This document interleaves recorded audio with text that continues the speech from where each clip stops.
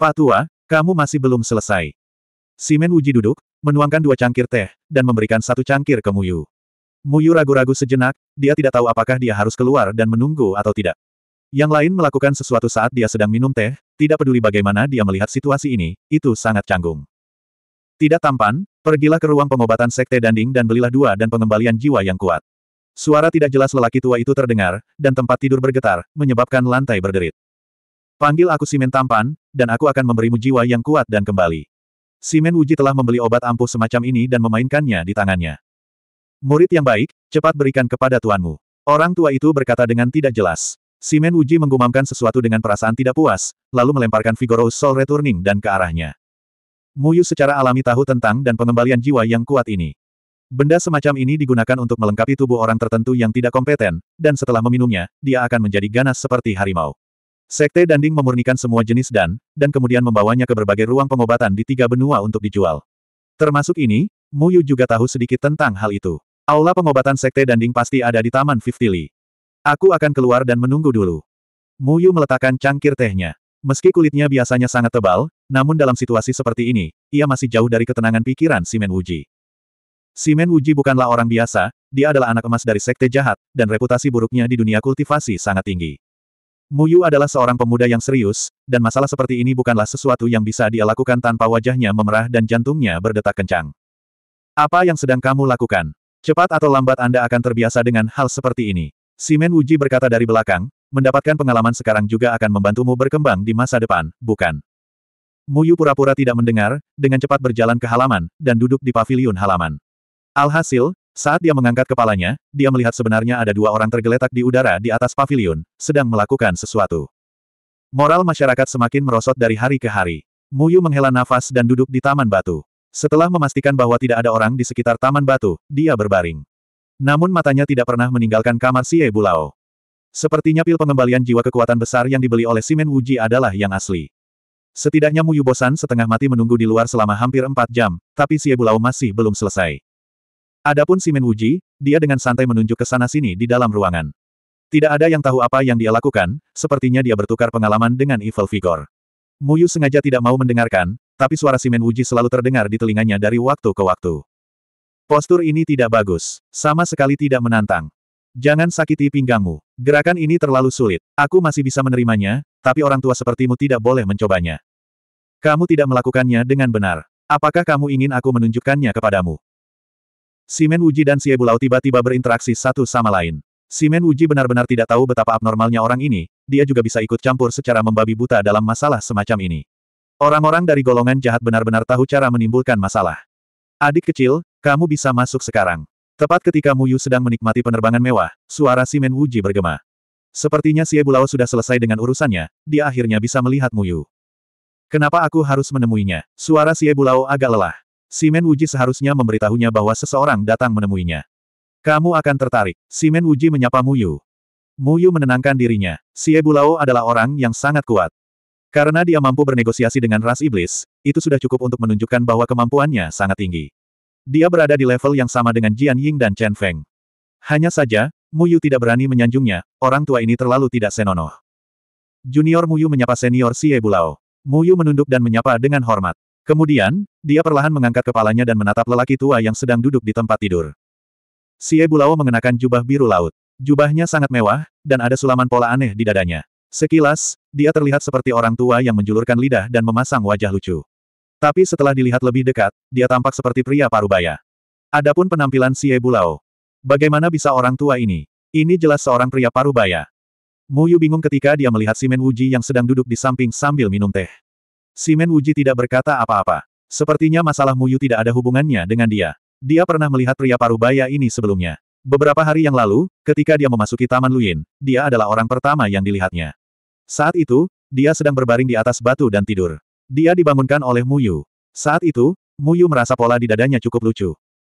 Jika orang ini adalah Xie Bulao, lalu siapakah lelaki tua yang baru saja menggoda awan dan hujan itu? Kamu, kamu senior Xie Bulao. Muyu bertanya dengan ragu-ragu. Apa, mungkinkah ada yang berani menggunakan nama ini? Pria parubaya itu sepertinya sedang mencari sesuatu di tanah. Muyu tahu apa yang dia cari, dia sedang mencari sepatunya. Tapi tidak ada sepatu apa pun di tanah. Lalu siapa senior tadi? Muyu merasa agak sakit kepala. Beberapa saat yang lalu, dia dengan jelas melihat seorang lelaki tua berambut putih yang hendak masuk ke peti mati duduk di tempat tidur tempat Xie Bulao duduk. Kok tiba-tiba ada orang yang berbeda? Bagaimana dia bisa bermain seperti ini? Senior, apakah aku sudah sangat tua sekarang? Xie Bulao menatap Muyu. Saya mengenali kamu. Hari itu, Anda pergi ke Taman Luyin. Agar senior mengingat junior ini, junior ini ketakutan dan gentar. Junior ini meminta tuanku untuk memerintahkanku mengembalikan sesuatu kepada senior. Muyu melirik tempat tidur dari sudut matanya. Saat ini, wanita yang sedang menggoda lelaki tua itu sedang mengenakan pakaiannya. Sosoknya sangat bagus, namun sayangnya wajahnya tertutup topeng. Agaknya, dia juga seorang wanita yang kesepian. Dia tidak berkata apa-apa dan hanya mengenakan pakaiannya, lalu pergi dengan santai. Orang tua, menurutku kamu tidak boleh melakukan hal seperti ini di masa depan. Begitu kamu melakukannya, tubuhmu akan menjadi tua. Untungnya, tetua wanita dari Sekte Awan tak ada habisnya ini ulet, jika tidak, siapa yang mau melakukan ini? Ada hubungannya denganmu, Simen Wuji berkata sambil tersenyum. Diam, sekalipun saya menjadi tua, saya bersedia. Jika saya tidak suka melakukan hal semacam ini, Anda mungkin masih berada di rumah bordil dalam keadaan najis. Lagi pula, bagaimana mungkin gadis kecil itu tidak mau melakukan hal seperti ini padaku? Xie Bulao mendengus. Latar belakang palsu Simen Wuji sebenarnya benar. Apakah dia benar-benar dibawa kembali dari rumah bordil oleh Xie Bulao? Mu Yu tercengang. Apakah lelaki tua itu juga Xie Bulao? Dengan kata lain, begitu dia melakukan hal semacam itu, dia akan menjadi sangat tua, dan setelah melakukan hal semacam itu, dia akan berubah kembali menjadi pria parubaya. Teknik bela diri macam apa yang dipraktikkan Xie Bulao hingga menjadi seperti ini? Oh, benar, adik lelaki yang murni ini adalah murid Jian Ying Chen Feng. Dia datang ke sini untuk mencarimu. Sebelum Simen Wuji selesai berbicara, Muyu tiba-tiba merasa seolah-olah dia telah jatuh ke dalam rumah es. Niat membunuh yang tajam menyelimuti dirinya, dan bahkan napasnya pun bisa terlihat jelas. Aliran darahnya juga mulai lamban, bahkan dia merasa seperti akan hancur berkeping-keping jika dia bergerak sedikit pun. Beri aku alasan untuk tidak membunuhmu. Suara Xie Bulao terdengar lembut dan lembut, tapi Muyu bisa melihat bahwa itu mengandung niat membunuh yang besar. Xie Bulao pernah kalah dari Jian Ying Chen Feng, jadi dia membenci kata Jian Ying Chen Feng. Guru meminta saya untuk memberi Anda sesuatu, dan kemudian meminta Anda membantu saya. Muyu mengoperasikan sutra debu, dan semua darah di tubuhnya menjadi aktif kembali. Setelah beberapa saat, dia mengeluarkan kotak brokat yang diberikan oleh tuannya, lalu menyerahkannya. Terakhir kali, aku sudah membantunya dan membalas budi. Aku tidak berhutang apa pun padanya lagi. Seperti yang kubilang, segala sesuatu yang berhubungan dengan Jian Ying Chen Feng harus mati. Xie Bulao tidak mengambil barang itu dari Muyu, hanya menatap Muyu dan berkata, masalahnya adalah, bagaimana aku harus membunuhmu. Oh iya, aku akan memotong salah satu jarimu dulu. Tapi dia tidak menyerang Muyu, malah menatap Simen Wuji dan bertanya, kamu tidak memotong jarinya. Kenapa aku harus memotong jarinya? Saya adalah murid sejati sekte jahat, dan saya tidak akan pernah melakukan apa pun yang bertentangan dengan hati saya. Kata Simen Wuji tanpa mengangkat kepalanya. Aku tahu kalian bajingan tidak akan membantuku dalam masalah ini. Xie Bulao mendengus. Kalau begitu beritahu aku, jarinya yang mana yang harus aku potong. Xie Bulao menatap kedua tangan Muyu. Muyu tidak mengerti mengapa orang-orang sekte jahat begitu menentangnya. Mengapa semua orang ingin memotong jarinya. Muyu melihat kedua tangan Xie Bulao. Tuannya tidak mungkin memotong jarinya, bukan. Tapi semua jarinya baik-baik saja, bagaimana bisa dipotong?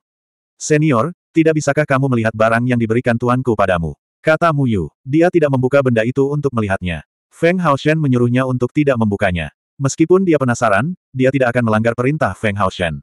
Aku tidak membutuhkan barang yang dia berikan padaku. Xie Bulao menjentikan jarinya, dan ki yang tajam keluar dan mengenai tangan Muyu. Muyu terkejut di dalam hatinya. Dia tidak hanya khawatir benda ini akan rusak, dia juga khawatir apakah dia mampu menahan serangan Xie Bulao. Budidaya Xie Bulao seperti gunung di depan Muyu. Namun, dia mampu membujuk ras iblis untuk tidak menimbulkan masalah bagi umat manusia. Ini cukup membuktikan bahwa dia tidak biasa. Jika Ki ini mengenai Muyu, kerusakan yang ditimbulkannya akan cukup untuk membunuh Muyu. Ki Xie Bulao membawa aura penghancur surga dan pemusnahan bumi saat menghantam kotak brokat. Namun, siapa sangka kotak brokat itu hanya akan berkedip dengan cahaya kemasan, dan dalam sekejap, Ki Xie Bulao menghilang tanpa bekas. Xie Bulao tiba-tiba berdiri. Dia menatap kain itu dengan tidak percaya. Mulutnya sedikit terbuka, dan matanya tidak pernah lepas dari kain itu. Bajingan itu benar-benar mengembalikan barang itu padaku. Xie Bulao dengan curiga menatap Muyu. Tubuh Muyu menjadi ringan. Aura menindas Xie Bulao menghilang tanpa jejak. Bahkan sekarang, Muyu tidak tahu apa kotak brokat itu, dan harta apa yang ada di dalamnya. Namun, dia tahu bahwa hal ini sepertinya telah menggerakkan hati Xie Bulao, dan ada peluang untuk membalikkan masalah ini. Feng Haoshen tidak akan membiarkan muridnya melakukan sesuatu yang dia tidak yakin, dan dia sudah mempertimbangkan hal ini. Simen Wuji juga agak bingung ketika dia melihat kotak brokat yang melayang di udara. Meskipun dia berpengalaman dan berpengetahuan luas, dia tetap tidak mengenali hal ini. Apa yang dia ingin aku lakukan? Xie Bulao dan Feng Haoshen pasti memiliki dendam yang tak ada habisnya di masa lalu. Mereka adalah rival lama, jadi mereka sangat memahami satu sama lain. Apa pun yang ingin dilakukan pihak lain, mereka hanya perlu satu hal untuk memecahkannya. Siapkan beberapa formasi. Formasi apa? Xie Bulao bertanya. Formasi Iblis Penyegel Sembilan Surga. 322. Xie Bulao duduk di tempat tidur seperti orang biasa. Dia tidak melepaskan energi spiritual apa pun dari tubuhnya. Sebaliknya, dia memandang Muyu sambil berpikir. 4. Muyu tidak menyembunyikan apa pun. Karena dia membutuhkan bantuan Xie Bulao, cepat atau lambat dia akan mengetahuinya. Kemampuan apa yang kamu miliki? Xie Bulao bertanya dengan tenang.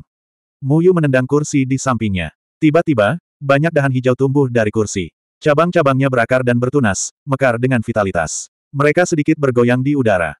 Xie Bulao menyentuh kotak brokat itu, tapi matanya tertuju pada dahan di kursi.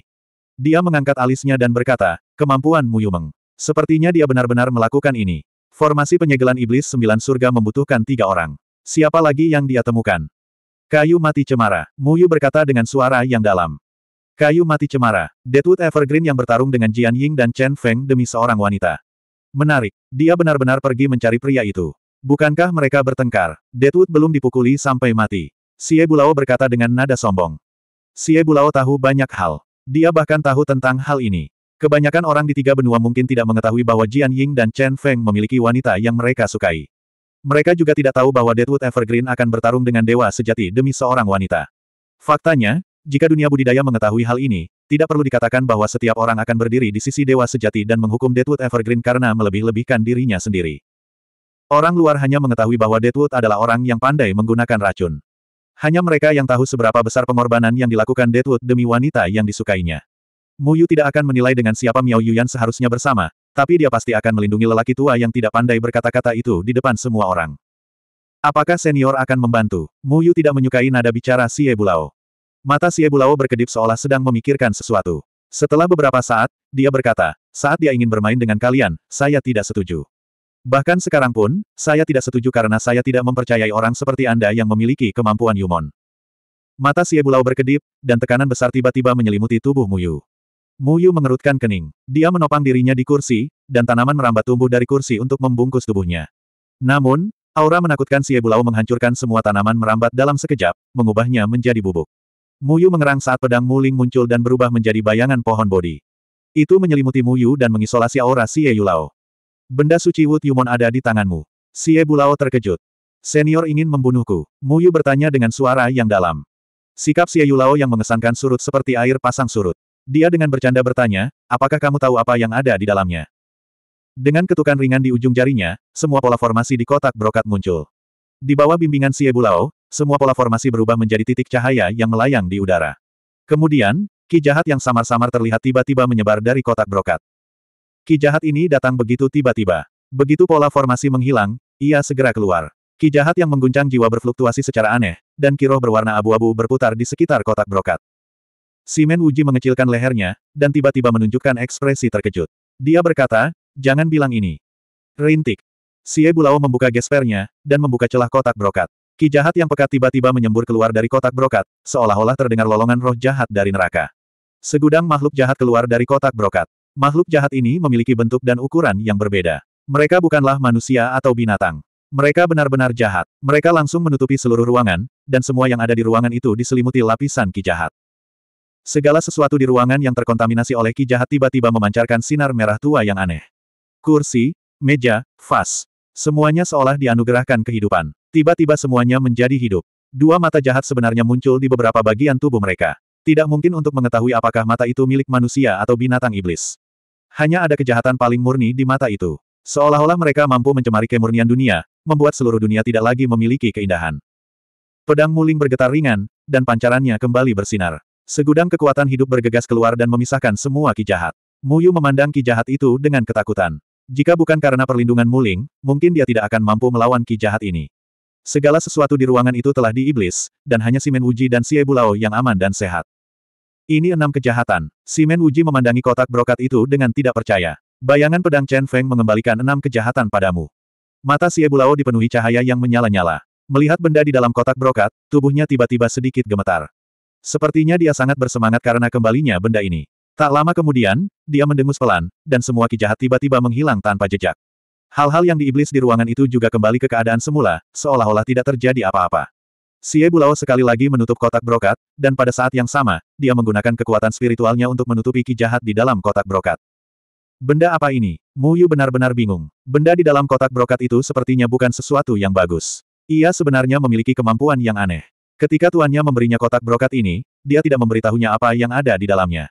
Namun dari reaksi Xie Bulao dan Simen Wuji, dia bisa menebak bahwa kejahatan di dalam diri sangat penting bagi Xie Bulao. Xie Bulao dengan anehnya memandang Mu Yu dan berkata, Nak, singkirkan Mu Lingmu. Kembalilah dan beritahu Sword Shadow Chen Feng bahwa saya dapat membantu Anda dalam masalah ini. Karena dia mengembalikan enam kejahatan kepadaku, maka aku tidak punya dendam padanya. Di masa depan, apakah aku membunuhnya atau tidak akan bergantung pada suasana hatiku. Meskipun Xie Bulao setuju untuk membantu mereka meletakkan formasi iblis penyegel sembilan surga, Mu Yu masih bingung di dalam hatinya. Dia belum pernah mendengar tentang enam kejahatan, jadi dia tidak tahu banyak tentang kekuatan sekte jahat. Tapi enam kejahatan ini tidak diragukan lagi adalah harta paling berharga dari sekte jahat. Dia ingin bertanya dengan jelas apa itu enam kejahatan, tetapi Xie Bulao sudah tidak sabar melambaikan tangannya, menyuruhnya segera pergi. Apakah kamu membutuhkan aku untuk memimpin? Anda harus ingat jalan pulang, bukan? Jangan ganggu mood orang lain dalam perjalanan pulang. Simen Wuji mencibir. Ketika Muyu berpikir tentang bagaimana dia akan melewati orang-orang itu dalam perjalanan pulang, dia tidak bisa menahan kutukan dalam hatinya. Meskipun pemandangan seperti ini menarik perhatian banyak anak muda, sangat disayangkan Muyu tidak ingin memikirkan hal ini pada wanita lain. Dalam hatinya, dia merasa bersalah terhadap Tian Ran. Dia berlari keluar dengan wajah merah, berusaha sekuat tenaga untuk tidak melihat bunga itu. Kemudian, dia meninggalkan neraka di bumi. Melihat ke arah yang jumlah orangnya lebih sedikit, dia berbelok ke gang kecil, melepas topengnya, dan membuangnya. Neraka di bumi terletak di 38 Mile Street di 50 Mile Garden.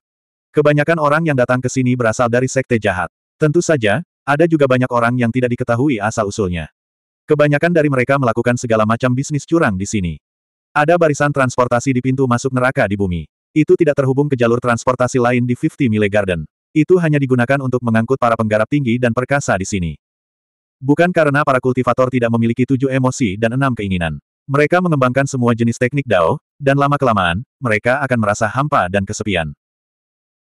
Beberapa kultivator tidak dapat membuat kemajuan apa pun dalam kultivasi mereka untuk waktu yang lama, jadi mereka datang ke neraka di bumi untuk memanjakan diri mereka sendiri. Selama mereka menemukan pasangan yang cocok, kesenangan di antara keduanya sudah cukup untuk membuat mereka menembus penghalang kultivasi. Ini juga alasan mengapa begitu banyak orang besar mengetahui bahwa ini bukan tempat yang tepat, tetapi masih diam-diam datang ke sini. Sekte jahat melakukan hal ini dengan sangat baik. Mereka hanya bertanggung jawab menyediakan tempat, tetapi tidak menanyakan identitasnya. Oleh karena itu, mereka tidak takut seseorang akan mengungkapkan identitas mereka di sini dan menimbulkan skandal yang tidak perlu.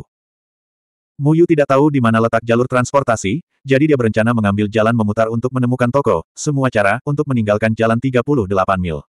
Saat dia berbelok di tikungan, dia melihat seorang pria parubaya yang tinggi dan tegap berjalan ke arahnya. Dan dia kebetulan melepas topengnya.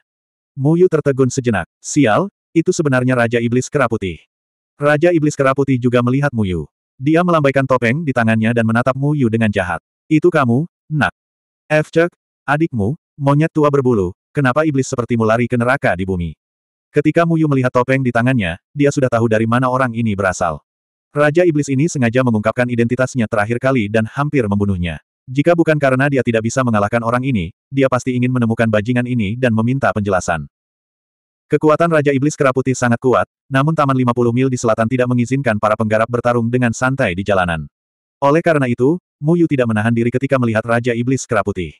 Dia tidak percaya Raja Iblis Keraputi berani melawannya secara terang-terangan kali ini. Raja Iblis Keraputi berkata dengan sedih, Nak, tunjukkan rasa hormat. Orang tua ini juga seorang Raja Iblis. Itu lebih dari cukup untuk membunuhmu ribuan kali. Meskipun kalian manusia dilarang bertarung di tempat ini, jika aku membawamu pergi, menurutmu siapa yang bisa menghentikanku? Muyu memikirkannya dan sepertinya itu benar. Raja Iblis ini bahkan keluar dari Sekte Danding, jadi Taman 50 Mil di selatan seharusnya tidak bisa menghentikannya. Namun, sekarang istana tiga kali lipat melindungi makhluk abadi yang ekstrim ini, dia tidak perlu takut. Wajah Raja Iblis Keraputi menunjukkan sedikit keracunan dan melanjutkan, neraka di bumi benar-benar tempat yang bagus. Aku belum pernah merasa begitu baik selama seribu tahun. Senang sekali bisa datang ke sini dan memanjakan diri serta membiarkan peri-peri saleh yang terkenal itu dan orang-orang suci melayaniku. Wajah Muyu penuh garis hitam. Dia bertanya-tanya wanita malang mana yang sedang bersenang-senang dengan Raja Iblis. Jika kultivator perempuan itu mengetahui bahwa dia sedang berhubungan seks dengan kera, dia bertanya-tanya apakah kera tersebut akan begitu malu hingga dia akan bunuh diri. Ngomong-ngomong, apa yang kamu lakukan di sini? Raja Iblis Kera Putih memandang Muyu dari atas ke bawah dan tiba-tiba menunjukkan sedikit kemarahan. Nak, apakah kamu juga pergi ke neraka di bumi? F asterisk terakhir kali Kiao Sueku kembali, dia linglung. Kamu bajingan kecil berani menipu dia. Menipu adikmu. Apakah menurut Anda semua orang tidak tahu malu seperti Anda? Saya baru saja datang ke sini. Datang ke sini untuk menyelesaikan rekening dengan Simen Wuji. Muyu berkata dengan sedikit kurang percaya diri. Walaupun ia tidak datang ke neraka di bumi, untuk urusan antara laki-laki dan perempuan, namun ia tetap melihat beberapa hal yang tidak pantas untuk anak-anak, yang mencemari hatinya yang sangat murni. Awalnya, dia berpikir bahwa dia harus menjadi orang yang tenang, tapi sayangnya, dia sedang dalam kondisi prima dan hampir tidak bisa mengendalikan dirinya sendiri. Baru saja, api jahat yang berantakan di tubuhnya menyebar ke seluruh tubuhnya. Raja Iblis Keraputi memandang Muyu dengan curiga dan mendengus, Nak, aku tidak peduli untuk apa kamu datang ke sini, tapi jika kamu berani mengkhianati Kiao Sueku, aku pasti akan mengupas kulitmu. Aku tidak takut orang-orang dari istana tiga lapis itu. Jika kamu tidak percaya padaku, kamu bisa mencobanya. Cepat cari waktu untuk mengadakan pernikahan. Oh iya, kamu harus jadi menantu. Kiao Sueku tidak akan menikah. 323. Tanpa berkata apa-apa, Muyu berbalik dan pergi. Jika dia terus berbicara dengan pria ini, dia pikir dia akan diambil paksa kembali menjadi menantunya. Dengan kepribadian Raja Iblis Keraputih yang tak kenal takut, kemungkinan besar dia akan melakukan hal seperti itu. Sekarang umat manusia telah secara diam-diam mengakui keberadaan Raja Iblis Keraputih, para senior ras manusia yang tersembunyi itu tidak akan mengambil tindakan melawan Raja Iblis Keraputih. Pada dasarnya, tidak ada seorang pun di dunia budidaya yang berani memprovokasi dia. Hei, jangan pergi, aku belum selesai. Sialan, aku bahkan tidak menyukai bajingan kecil sepertimu. Aku benar-benar tidak tahu bagaimana putriku jatuh cinta padamu. Apakah kamu pikir aku ingin menjadi ayah mertuamu hanya sekedar nama? Tahukah kamu betapa memalukannya memiliki manusia sebagai menantu? Tapi saya orang yang berpikiran terbuka. Saya tidak akan mengganggu siapa yang disukai putri baptis saya. Namun, dia harus melalui pemeriksaan berlapis-lapis. Ras iblis kita juga memiliki banyak Raja Iblis muda yang mengejar Kiao Sue.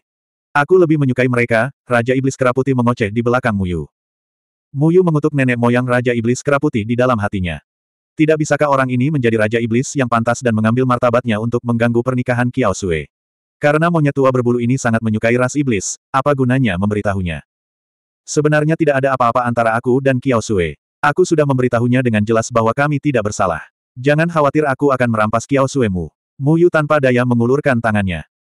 Namun, Raja Iblis Keraputi tiba-tiba meraih kerah baju Muyu dan dengan marah berkata, Bajingan kecil, apakah menurutmu Kiao Sueku tidak layak untukmu? Apakah kamu tidak menyukaiku? Muyu sedikit bingung. Dia berpikir dalam hati, aku pasti mengalami nasib buruk selama delapan kali seumur hidup karena bertemu dengan monster tua yang kasar dan tidak masuk akal seperti Raja Iblis Keraputi. Apakah otaknya rusak? Dia jelas tidak puas dengannya. Dia telah mengikuti keinginannya dan meletakkan kartunya di atas meja bersama Kiao Sue, tapi sekarang dia mencari masalah. Tentu saja aku tidak menyukaimu, bocah nakal. Tapi Kiao Sue tidak bisa melupakanmu. Kamu harus bertanggung jawab atas Kiao Sue. Wajah Raja Iblis Keraputi dipenuhi amarah. Mengambil tanggung jawab, lalu aku akan mencari waktu untuk melakukan apa yang kamu katakan dan menikahinya. Muyu berkata dengan acuh tak acuh. Berat, apakah kamu seekor katak yang ingin makan daging angsa? Ada ratusan ribu pemuda yang ingin menikah dengan Kiao Sue. Kamu bukan apa-apa. Sial, bukankah kamu baru saja memintaku untuk menikahinya? Jika aku tidak menikahinya, katakan padaku, bagaimana aku harus bertanggung jawab padanya? Haruskah aku bertanggung jawab dengan mulutku dan menjaga jarak dengan tubuh fisikku? Bagaimanapun, kamu tidak boleh jatuh cinta dengan gadis mana pun sampai Kiao Sue jatuh cinta dengan orang lain. Raja Iblis, toko roti Bibi Wang di Six Mile Street sangat enak. Apa hubungannya denganku kalau rotinya enak? Kalau begitu, siapa yang aku dan Kiao Sue sukai bukanlah urusanmu. Brengsek, Anda meminta pemukulan. Muyu hampir meledak karena marah ketika Raja Iblis Kera Putih meraih kerah bajunya. Namun, dia tiba-tiba teringat akan kemampuan Kiao Sue dalam mengendalikan air dan menyadari. Seperti dia, Kiao Sue seharusnya menggunakan formasi iblis penyegel surga ke-9 untuk menyegel Dewa Roh Yumeng. Baiklah, kalau begitu aku perlu menemui Kiao Sue, kata Muyu dengan sungguh-sungguh. Raja Iblis Keraputi menggelengkan kepalanya dan berkata, Tidak, putriku bukanlah seseorang yang bisa kamu temui kapan pun kamu mau. Bukankah itu terlalu merendahkan? Muyu hampir melompat dan berkata dengan marah, lalu apa yang kamu inginkan? Di satu sisi, Anda mendesak saya untuk bertanggung jawab dan di sisi lain, Anda tidak mengizinkan saya menemuinya. Kamu gila. Raja Iblis Keraputi melepaskan Muyu dan berkata, saya perlu menentukan apakah Anda tulus pada Kiao Sui. Jika Kiao Sui bersedia menikah dengan Anda, maka saya tidak bisa menghentikannya. Tapi pertama-tama, Anda harus bersumpah beberapa ratus untuk tidak pernah mengkhianatinya. Kalau begitu, kamu harus membantuku melakukan beberapa hal. Juga, kamu harus bersujud kepadaku beberapa kali dan memanggilku ayah mertua. Countdown-nya harus keras. Jika terlalu lunak, tidak dihitung. Muyu telah melihat orang-orang yang tidak tahu malu seperti Simen Wuji, tapi dia belum pernah melihat seseorang yang tidak tahu malu seperti Raja Iblis Keraputi. Dia berkata dengan marah, monyet tua berbulu, lebih baik kamu mencari orang lain sebagai menantumu. Jika Anda ingin menemukan menantu seperti ini, saya sarankan Anda mencari Dewa Petir. Dia pasti akan bersujud padamu sampai langit bergetar. Saya ingin bertemu Kiao Sui untuk berbicara dengannya tentang suatu masalah. Hal ini terkait dengan kekuatan roh Lord Sui Yumeng di tubuhnya. Raja Iblis Keraputi tiba-tiba menjadi waspada. Ketika Muyu berkata, Tuan Roh Sui Yumeng, sinar iblis muncul di matanya dan ekspresi ceroboh di wajahnya menghilang. Apa hubungannya dengan kekuatan roh Lord Sui Yumeng? Raja Iblis Keraputi bertanya dengan suara yang dalam. Muyu meluruskan kerah bajunya dan melihat sekeliling. Dari waktu ke waktu, orang-orang yang memakai topeng akan melewati gang kecil itu, bergegas keluar masuk neraka di bumi. Ini bukan tempat untuk berbicara. Muyu berkata dengan sangat serius. Raja Iblis Keraputi dengan curiga menilai Muyu. Ketika dia melihat bahwa Muyu tampaknya tidak bercanda, dia mendengus keras dan berkata, ikutlah denganku. Jika aku tahu kamu berbohong, aku akan membunuhmu dan menjualmu ke toko roti. Muyu telah mengutuk leluhur generasi ke-38 Raja Iblis Keraputi di dalam hatinya. Dia selalu menjadi orang yang bernasib buruk. Bertemu Xie Bulao sudah cukup membuatnya menderita. Sekarang, dia harus bertemu dengan Raja Iblis Keraputih yang telah hidup selama beberapa ribu tahun. Jika bukan karena Kiao Sue, dia tidak akan terlibat dalam air berlumpur bersama Raja Iblis Keraputih bahkan jika dia dipukuli sampai mati. Raja Iblis Keraputih berjalan bersama Muyu dan meninggalkan jalan 38 mil dan tiba di jalan 25 mil. Jalan 25 mil adalah tempat tinggal Raja Iblis Keraputih. Muyu tidak ingin bertanya mengapa dia datang ke wilayah umat manusia. Namun, kali ini dia datang sendiri. Tidak ada anggota ras iblis lainnya. Setelah ras iblis bertransformasi menjadi bentuk manusia, mereka sedikit banyak akan mempertahankan karakteristik tubuh ras iblis mereka. Oleh karena itu, mereka akan mudah dikenali di wilayah umat manusia. Namun, Raja Iblis Keraputi tidak terlihat berbeda dari orang normal kecuali rambut putihnya yang cerah. Berbicara, Raja Iblis Keraputi menutup pintu dan menatap Muyu. Tampaknya jika Muyu berani mengatakan satu kata pun yang salah, dia akan segera menghubungi pemilik toko roti. Muyu tanpa basa-basi duduk dan berkata, kamu harus tahu bahwa jika Kiao Sue tidak berhati-hati, dia akan jatuh ke dalam pembantaian yang tidak disadari. Jika dia tidak bangun tepat waktu, kekuatan roh Dewa Yu Meng di tubuhnya akan hancur. Dia, hanya aku yang bisa menyelesaikan masalah ini. Wajah Raja Iblis Keraputi akhirnya menunjukkan sedikit keseriusan. Dia bertanya dengan heran, bagaimana kamu tahu? Saat dia berada di lapisan surga kedua, dia hampir kehilangan kendali demi menyelamatkanmu. Jika aku tidak membangunkannya tepat waktu, dia masih akan bertarung dengan binatang iblis di lapisan surga kedua. Muyu berkata dengan tidak senang. Raja Iblis Keraputi bertanya, lalu apa solusi yang kamu sebutkan? Tuanku ingin mengatur formasi iblis penyegel surga ke-9 untuk menyegel kekuatan Raja Roh Yumeng di tubuh kita agar kita tidak kehilangan kendali. Namun, kita masih memiliki kekuatan Raja Roh Yumeng. Muyu tidak menyembunyikannya. Meskipun Raja Iblis Keraputi selalu terlihat pantas menerima pukulan, dia sangat mengkhawatirkan Kiao Sue. Bukan masalah besar untuk memberitahu dia tentang hal ini. Kita, kamu juga, Raja Iblis Keraputi bertanya dengan heran. Muyu mengetuk meja dengan jarinya, dan banyak tunas hijau tumbuh lagi dari meja. Dia merasa sangat tidak berdaya. Ini adalah kedua kalinya hari ini dia membuat mejanya bertunas. Kekuatan roh Tuan Yumeng ada di tubuhmu. Raja Iblis Keraputi sepertinya memikirkan sesuatu dan berkata, jadi itu sebabnya kamu membantu kami melarikan diri di lapisan surga kedua. Aku memang membantu Kiao Sue. Kamu hanya menikmati kemuliaan Kiao Sue. Aku tidak bermaksud menyelamatkanmu. Mu Yu mengerutkan bibirnya. Raja Iblis Keraputi menahan keinginan untuk memukuli Mu Yu dan berkata, seberapa percaya diri kamu? Saya tidak tahu seberapa percaya diri saya. Bagaimanapun, saya yakin tuan saya tidak akan menyakiti saya. Tentu saja, dia tidak akan menyakiti Kiao Sue. Di mana Kiao Sue sekarang? Biarkan aku bicara dengannya, kata Mu Yu. Siapa tuanmu? Bagaimana dia bisa memiliki kekuatan sebesar itu? Raja Iblis Keraputi bertanya. Mu Yu memutar matanya. Sekarang, semua orang di dunia kultivasi tahu bahwa gurunya adalah Jian Ying Chen Feng yang terkenal dari lapisan surga ketiga. Hanya orang ini yang tidak tahu. Sungguh aneh. Tuanku adalah Jian Ying Chen Feng. Ngomong-ngomong, bahkan jika kamu tidak mengenal Jian Ying Chen Feng, kamu seharusnya pernah mendengar tentang dewa sejati yang mengalahkan lima raja roh Yu Meng lebih dari seratus tahun yang lalu, kan? Muyu tahu bahwa Raja Iblis Keraputi adalah Raja Iblis dari beberapa ribu tahun yang lalu. Seratus tahun yang lalu, Raja Iblis Keraputi masih terjebak di lapisan langit kedua. Sekarang setelah dia kembali ke lapisan surga ketiga, dia setidaknya harus memiliki pemahaman kasar tentang situasi umat manusia. Tuanmu adalah Jian Ying Chen Feng. Apa, orang itu masih hidup? Raja Iblis Keraputi bertanya dengan marah. Muyu merasa ini sangat aneh. Dia mengira orang ini sudah gila lagi. Dia berkata, tentu saja tuanku masih hidup. Ngomong-ngomong, Kenapa kamu membuat keributan seperti itu? Tuanku bukan generasi yang sama denganmu. Mata Raja Iblis Kera Putih berkedip. Setelah beberapa saat, dia mencibir dan berkata, sepertinya tuanmu tidak memberitahumu sesuatu. Apa? Apakah dia berencana merahasiakannya? Rahasiakan. Rahasiakan apa? Anda tahu tuanku. Muyu merasa kata-kata Raja Iblis Kera Putih agak aneh. Raja Iblis Kera Putih itu abadi. Bagaimana dia bisa mengenal tuannya? Raja Iblis Kera Putih berkata sambil bercanda, Aku tidak hanya mengenal Jian Ying Chen Feng, tapi aku juga mengenal Xie Bulao. Coba ku pikirkan, formasi iblis penyegel sembilan surga pasti dibentuk oleh mereka berdua bersama-sama. Muyu ingat bahwa Xie Bulao telah pergi ke Raja Iblis Naga Azure untuk bernegosiasi. Dia menduga Raja Iblis Keraputi juga ada di sana saat itu. Masuk akal jika Raja Iblis Keraputi mengenal Jian Ying Chen Feng dan Xie Bulao. Sepertinya ada beberapa hal yang belum kamu ketahui. Sepertinya saya tidak sabar untuk bertemu Jian Ying Chen Feng. Kembalilah dan beritahu tuanmu bahwa aku akan pergi. Saya tidak hanya akan pergi, tetapi saya juga akan melunasi hutang 4.000 tahun yang lalu. Wajah Raja Iblis Keraputih memperlihatkan sedikit kilatan yang tidak menyenangkan. Hutang 4.000 tahun. Apa hubungannya dengan tuanku? Tuanku bahkan belum lahir saat itu, kan? Muyu bertanya dengan bingung. Jangan khawatir tentang itu. Saya akan membawa Kiao Sui ke sini dalam dua hari. Kamu bisa pergi sekarang. Raja Iblis Keraputih berkata dengan tidak sabar. Muyu berdiri dan memberitahu Raja Iblis Keraputih alamatnya. Dia kemudian meninggalkan kediaman Raja Iblis Keraputi dengan kepala penuh pertanyaan. Dia merasa ada sesuatu yang salah. Majikannya adalah orang modern, tapi Raja Iblis Keraputi adalah orang dari beberapa ribu tahun yang lalu. Bagaimana mereka bisa berhubungan? Apakah tuannya mempunyai rahasia lain yang tidak dia ceritakan? Meskipun umur seorang kultivator lebih lama dari orang biasa, Muyu ingat bahwa tidak ada orang seperti Raja Iblis yang bisa hidup selama beberapa ribu tahun tanpa mati. Umur seorang kultivator biasa paling lama 200 tahun, dua kali lebih lama dari umur orang biasa. Singkatnya, pikiran Muyu kacau balau. Setelah perjalanan ini, dia merasa ada banyak hal yang tidak dia mengerti. Pertama-tama, ketika dia pergi mencari Xie Bulao, apa saja enam kejahatan yang disebutkan Xie Bulao? Mengapa hal jahat seperti itu menyebabkan sikap Xie Bulao berubah drastis? Berikutnya, ada Raja Iblis Keraputi. Mengapa Raja Iblis Keraputi ingin melunasi hutang 4.000 tahun yang lalu dengan Jian Ying Chen Feng? Apa hubungan masalah Raja Iblis Keraputi 4000 tahun lalu dengan Jian Ying Chen Feng?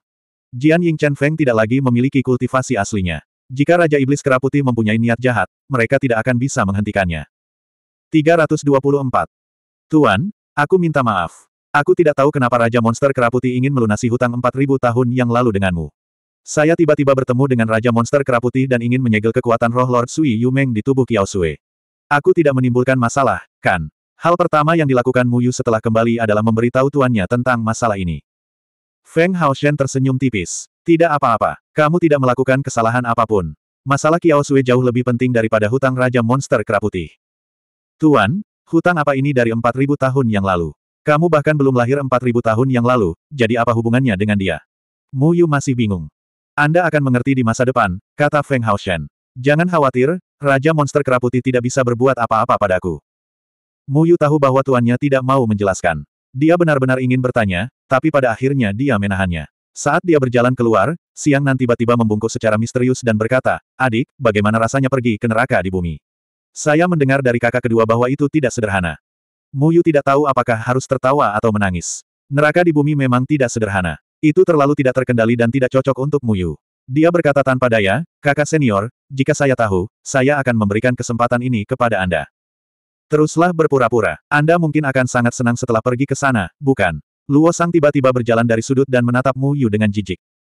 Brengsek, jika kamu sangat suka pergi ke sana, mengapa kamu membiarkan aku pergi? Mu Yu sangat marah ketika memikirkan Luo Sang. Tugas ini seharusnya diberikan kepada Luo Sang, tetapi bajingan ini tidak memberitahunya apa itu, dan dia bahkan tidak memberi tahu tuannya. Dia memiliki mentalitas pergi ke medan perang dan bertarung ribuan putaran dengan musuh. Pada akhirnya, dia langsung disambut oleh pemandangan musim semi, dan dia hampir tidak bisa mengendalikan diri. Neraka di bumi benar-benar taman yang penuh dengan musim semi. Jika kamu bahkan tidak bisa menolak ini, bagaimana kamu bisa menahan godaan dari Tuan Roh Yumeng? Aku hanya memberimu kesempatan untuk berlatih. Jangan bilang kamu sudah jatuh cinta padanya. Luo Sang memandang Muyu dengan sangat dingin. Terjatuh karena itu, adikmu. Muyu menunjuk ke hidung Luo Sang dan mengutuk, tapi Luo Sang hanya mendengus dan pergi. Pernah ke neraka sekali, Muyu tidak ingin pergi ke sana untuk kedua kalinya. Seorang pemuda dengan nilai moral yang tinggi tidak akan bisa menerimanya. Pada hari-hari berikutnya, segalanya menjadi sangat damai. Xie Bulao meminta Simen Wuchang memberitahu mereka bahwa dia akan datang ke sini dalam lima hari, sehingga mereka tidak lagi cemas. Dan lagi, empat tahun lalu, Cheng Yan dan yang lainnya telah tinggal di sini sejak mereka meninggalkan pegunungan Moyun. Kehidupan setiap orang sangat sederhana, tidak seperti Muyu yang selalu menimbulkan masalah. Dunia budidaya selalu gempar karena Muyu. Tempat itu selalu sibuk. Muyu telah membela tindakannya. Masalah selalu datang kepadanya, dan dia secara tidak sengaja membesar-besarkan masalah itu di luar proporsinya. Selain itu, ada beberapa hal yang dia tidak punya pilihan selain melakukannya. Tentu saja pertahanannya sangat lemah. Di halaman ini, budidaya Muyu bukanlah yang tertinggi, tetapi reputasinya adalah yang terbesar. Aktivitas Yumon di tiga benua semakin sering dilakukan. Banyak tempat tinggal manusia yang diam-diam diserang oleh Yumon. Banyak tempat tinggal manusia telah membentuk formasi susunan untuk melawan Yumon. Tidak ada yang tahu bagaimana Yumeng menginvasi kota Misty Breat saat itu. Namun, setelah belajar dari kesalahan Misty Breat City, semua kota memperkuat pertahanannya untuk menghindari terulangnya apa yang terjadi di Misty Breat City. Cheng Yan dan Luosang telah melacak pergerakan Yumon. Mereka menemukan bahwa sekitar kota Lansi sepertinya merupakan markas Yumon di tiga benua. Namun, setiap kali mereka mencari, mereka hanya menemukan beberapa prajurit udang dan jenderal kepiting. Kekuatan sebenarnya Yumon pada dasarnya belum ditemukan. Muyu juga memberikan gambaran kasar tentang bagaimana dia meninggalkan pegunungan Moyun. Bahkan Feng Haoshen tidak bisa tidak memuji kreativitas Yumon dalam formasi susunan.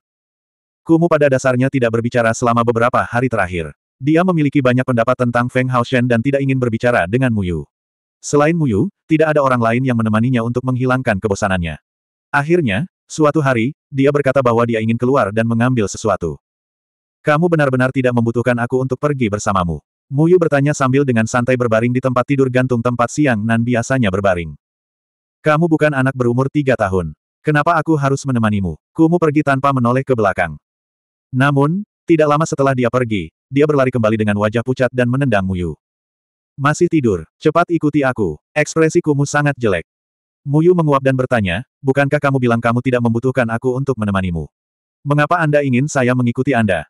Hentikan omong kosong itu. Ikuti saja aku saat aku menyuruhmu. Kata Kumu dengan marah. Oke oke oke. Muyu menggeliat dan berjalan perlahan di belakang Kumu. Lalu dia tahu kenapa Kumu ingin dia menemaninya saat dia keluar. Ternyata Wan Wan, wanita jahat ini, telah menunggu Kumu di luar. Aiya, Paman, kenapa kamu berlari begitu cepat? Aku bahkan tidak bisa mengejarnya. Wan Wan tersenyum manis. Muyu menahan keinginan untuk tertawa terbahak-bahak dan dengan tenang berkata kepada Kumu, orang tua, kenapa kamu tidak mengikutinya saja? Mungkin kamu bisa menaklukkannya dan mencoba membuatnya membuka lembaran baru.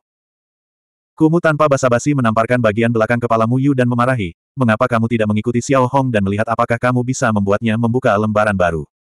Ketika Muyu mendengar itu, dia dengan bijaksana tetap diam. Xiao Hong adalah senjata mematikan baginya. Dia tidak mampu menyinggung perasaan Xiao Hong. Ke mana pun mereka berdua pergi, Wan Wan akan selalu muncul seperti bayangan, yang membuat Kumu sangat kesal. Namun, Mu Yu juga tidak berdaya. Dia tidak bisa mengusir Wan Wan. Ia merasa beruntung plester kulit anjing ini tidak menempel padanya. Kalau tidak, dia juga akan merasa sangat kesal. Kumu membawa Mu Yu pergi dari jalan Liuli dan sampai ke jalan Jiuli. Mereka berjalan ke sebuah klinik yang elegan dan berhenti di depannya. Mengapa kita ada di sini di klinik? Muyu memandang klinik bernama King Yu dengan bingung. Faktanya, pusat kesehatan sangat umum di dunia budidaya. Para penggarap sering berkelahi satu sama lain hingga kepala mereka patah dan berdarah. Ada luka yang bisa diobati sendiri, namun banyak juga luka yang masih perlu dirawat orang lain. Terutama luka yang disebabkan oleh beberapa binatang iblis, yang beracun dan tidak dapat diobati sendiri. Kebanyakan orang akan memilih seorang alkemis untuk mengobati luka mereka, tetapi menyewa seorang alkemis terlalu mahal. Oleh karena itu, ada juga beberapa pembudidaya yang bukan alkemis yang berspesialisasi dalam meneliti cara mengobati luka. Misalnya, Kumu sedang meneliti hal ini. Tujuan penelitiannya sebenarnya untuk mengobati orang lain. Hanya saja rambutnya berubah menjadi hijau karena racun, sehingga dia tidak disukai orang lain. Kumu tidak menjawabnya dan langsung masuk. Aroma herbal yang menyengat menusuk wajahnya. Semua ramuan ini adalah ramuan untuk mengobati luka. Muyu sangat akrab dengan hal-hal ini. Yang menarik perhatiannya adalah deretan lemari obat yang berisi segala jenis tanaman obat. Aroma segala jenis jamu tercium dari lemari obat. Saat ini, ada seorang pria bertubuh besar sedang duduk di kursi di klinik.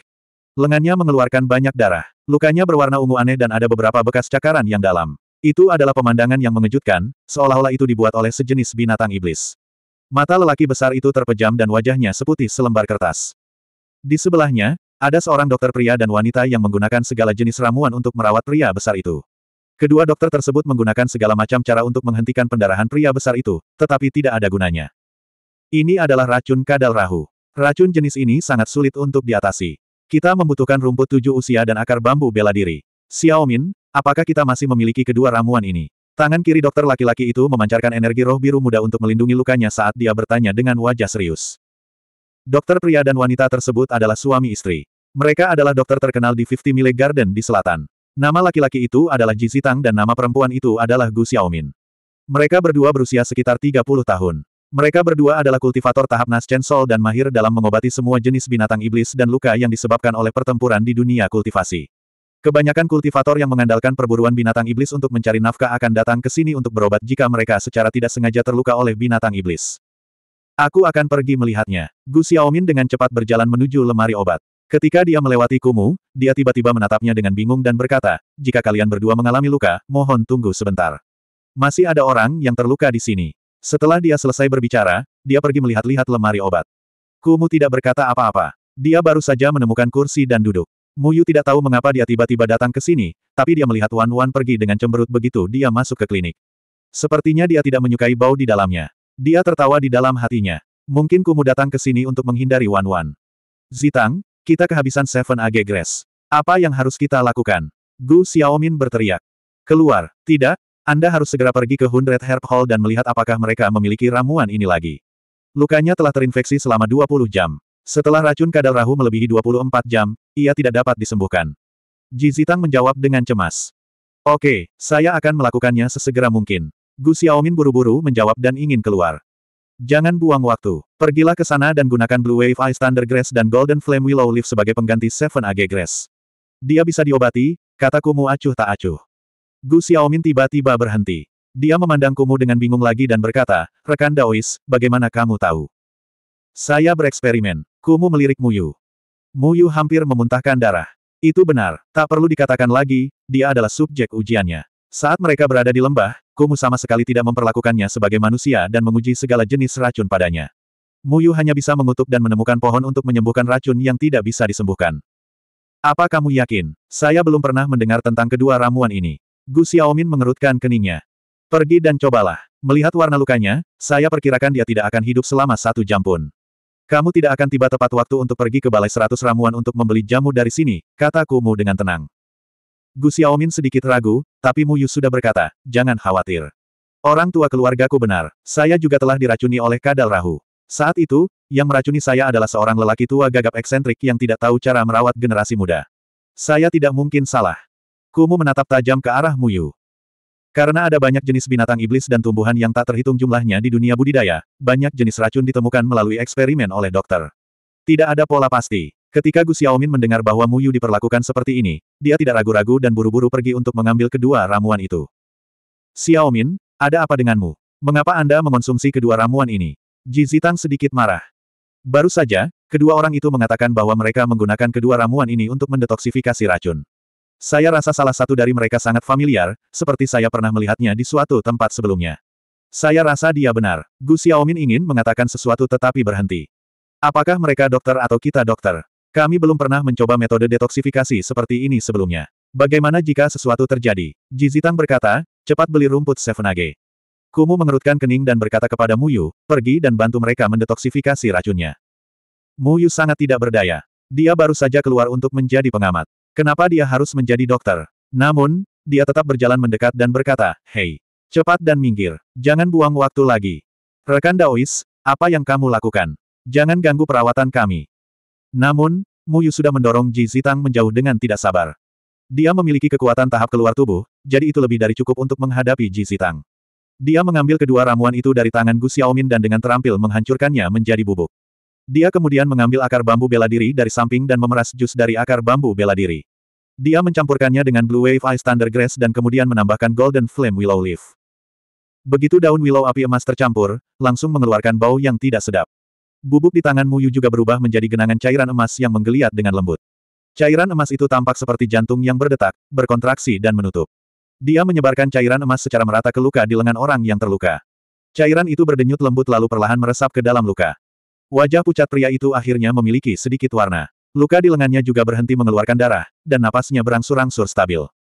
Baiklah, dia hanya perlu istirahat selama 4-6 jam. Dia harus bangun. Muyu menepuk sisa dari tangannya dan duduk kembali di samping Kumu di bawah tatapan kaget Ji Zitang dan Gu Xiaomin.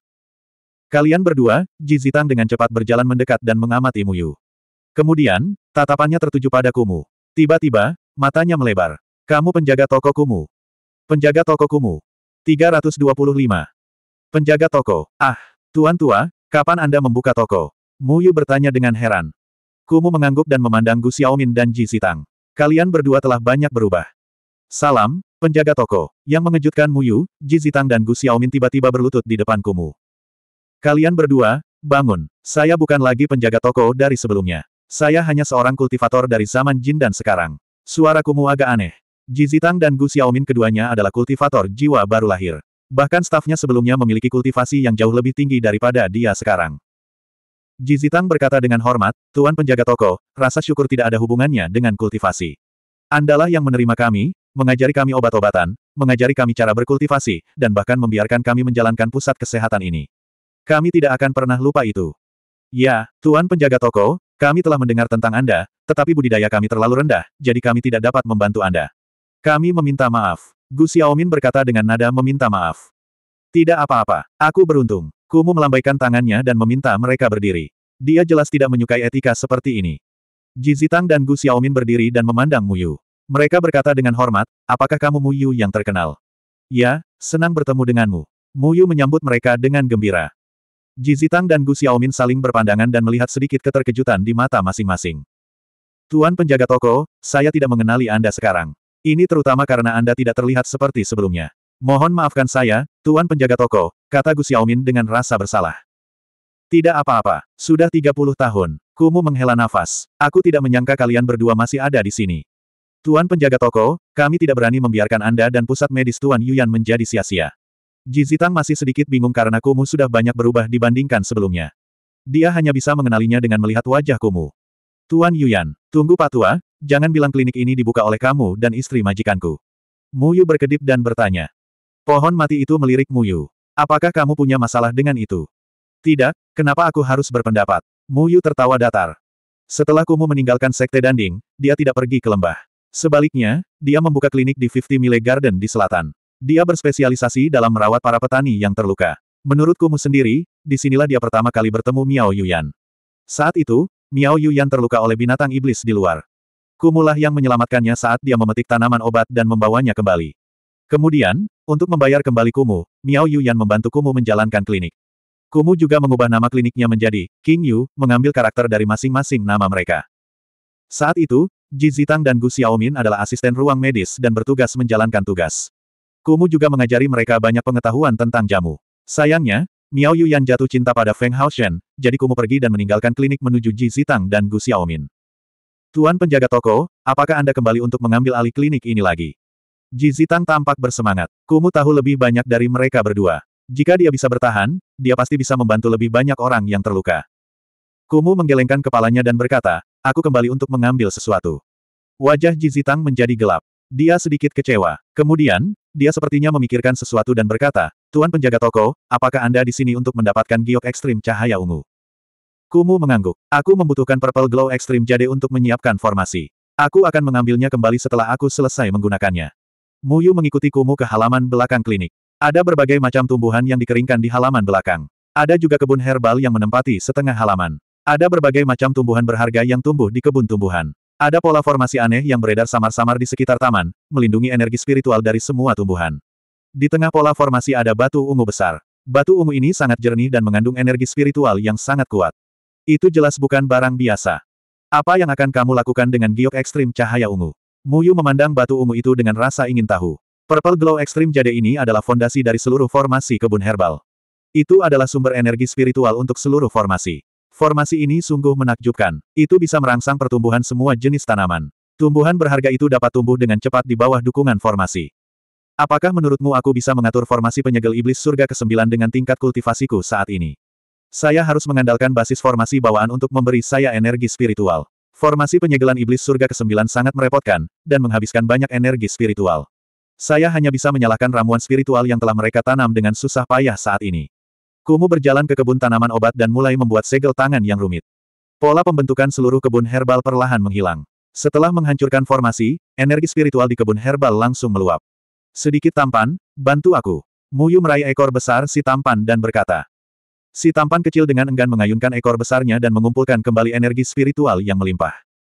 Keluarkan semua batu roh yang kamu miliki. Siapkan formasi pengumpulan roh dan formasi pertumbuhan yang baru. Ini adalah ramuan yang telah mereka tanam. Kita tidak bisa membiarkan ramuan ini mati. Kumu berkata tanpa ragu. Muyu dengan enggan mengeluarkan semua batu roh yang ada padanya. Dengan mempertimbangkan semuanya, dia memiliki sekitar 5 hingga 6 ribu batu roh. Dia masih terlalu asing dengan pengaturan formasi. Selama ini, dia tidak disukai oleh Kumu. Pola pembentukan energi spiritual yang dia ukir juga tidak teratur. Namun, dia masih berhasil membentuk formasi pengumpulan roh dan formasi pertumbuhan. Setelah ini selesai, kamu harus mempelajari formasi yang aku ajarkan padamu. Formasi adalah subjek yang sangat mendalam. Tidak hanya dapat digunakan untuk mengatur formasi, tetapi juga dapat digunakan untuk bertarung dengan orang lain. Bagaimanapun, Anda adalah murid saya. Kamu sangat kikuk saat mengatur formasi. Kamu membuatku malu. Tegur Kumu. Di antara semua kultivator, kekuatan ledakan seketika dari master formasi adalah yang terkuat. Pada dasarnya, tidak ada seorang pun di dunia yang sama yang berani menghadapi master formasi secara langsung. Meski mudah bagi mereka kehilangan stamina saat bertarung, tidak ada yang berani meremehkan master formasi. Muyu merentangkan tangannya dan berkata, Tuanku tidak pernah mengajariku formasi. Ketika kamu berada di lembah, kamu juga hanya mengajariku tentang tumbuhan. Apa yang bisa aku lakukan? Saya juga sangat putus asa. Dia memiliki dua master formasi sebagai masternya, tetapi Feng Haoshen sengaja tidak mengajarinya, dan Kumu tidak memperhatikannya. Jadi, Muyu hanya memiliki pemahaman kasar tentang formasi. Berhenti bicara omong kosong. Jika kamu bertemu dengan master formasi di masa depan dan dipukuli sampai babak belur, kamu tidak boleh memberitahu siapa pun bahwa kamu adalah muridku, kata Kumu dengan sedih. Muyu mengerucutkan bibirnya. Dia belum pernah bertemu dengan master formasi sampai sekarang. Selain itu, semua orang sangat jelas tentang kekurangan seorang master formasi. Master formasi tidak dapat mengalahkan kultivator normal dalam perang gesekan. Kumu menjelaskan semuanya pada Ji Zitang dan Gu Xiaomin. Kemudian, dia meninggalkan pusat medis di bawah tatapan hormat mereka. Dia tidak menyangka Wan Wan muncul begitu saja. Aiya, Paman, apakah kamu sudah selesai? Jika ya, ayo duduk di tempat tidurku. Saya suka menaklukkan paman-paman yang tidak menyukai saya. Wan Wan benar-benar wanita jahat yang gigih. Dikatakan bahwa tidak ada pria yang dia sukai yang lolos dari tangannya. Dia mungkin tidak akan membiarkan Kumu pergi untuk sementara waktu. Wajah Kumu sangat jelek, tapi wajahmu Yu penuh ketidakpedulian. Setidaknya Wan Wan tidak akan melakukan sesuatu secara diam-diam. Kalau tidak, Wan Wan pasti sudah mengambil tindakan terhadap Kumu di pusat medis. Dengan budidaya Muyu, dia masih bukan lawan Wan Wan. Saat Muyu mendengarkan ejekan Wan Wan yang tak kenal lelah, dia tidak bisa menahan tawa. Kumu sangat marah dan hanya ingin menghajar Wan Wan sampai mati. Juga, murid ini yang jelas-jelas melindunginya tetapi masih menikmati kemalangannya. Muyu ditendang olehnya berkali-kali. Begitu dia berbelok ke gang, dia bertemu dengan dua wajah yang dikenalnya. Kiao Sue dan Raja Iblis Keraputi juga sedang berjalan mendekat. Ketika Kiao Sue melihat Muyu, ekspresi terkejut melintas di wajahnya, tapi menghilang dalam sekejap. Dia memalingkan muka, tetapi Raja Iblis Keraputi dengan santai berjalan mendekat dan menatap Muyu dengan niat buruk. Kita bertemu lagi. Kiao Sue, izinkan aku memberitahumu, sebaiknya kamu tidak terlalu memikirkan bocah ini. Terakhir kali, dia menyelinap ke neraka dan tertangkap basah olehku. Bahkan aku tidak ingin pergi ke tempat seperti itu. Tempat, Anda benar-benar tidak bisa menilai buku dari sampulnya. F. Asterisk, monyet tua berbulu, bisakah kamu menjadi lebih tidak tahu malu? Sial, kamu jelas-jelas pergi ke sana sendiri, dan kamu masih membicarakan aku. Mu Yu meraung kesal. Dia benar-benar tidak menyangka Raja Iblis tua yang tidak tahu malu ini akan memfitnahnya dan berpura-pura menjadi begitu berbudi luhur. Jika kamu tidak pergi, lalu bagaimana kamu tahu aku pergi ke sana?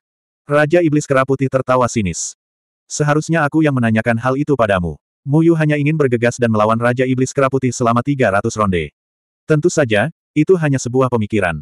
Raja Iblis Kera Putih dapat dengan mudah menghadapi Muyu hanya dengan satu tarikan napas. Wan Wan dengan santai berjalan ke sisi Deadwood dan memegang lengannya. Aiya, adik laki-laki Muyu pergi ke sana, lalu kenapa?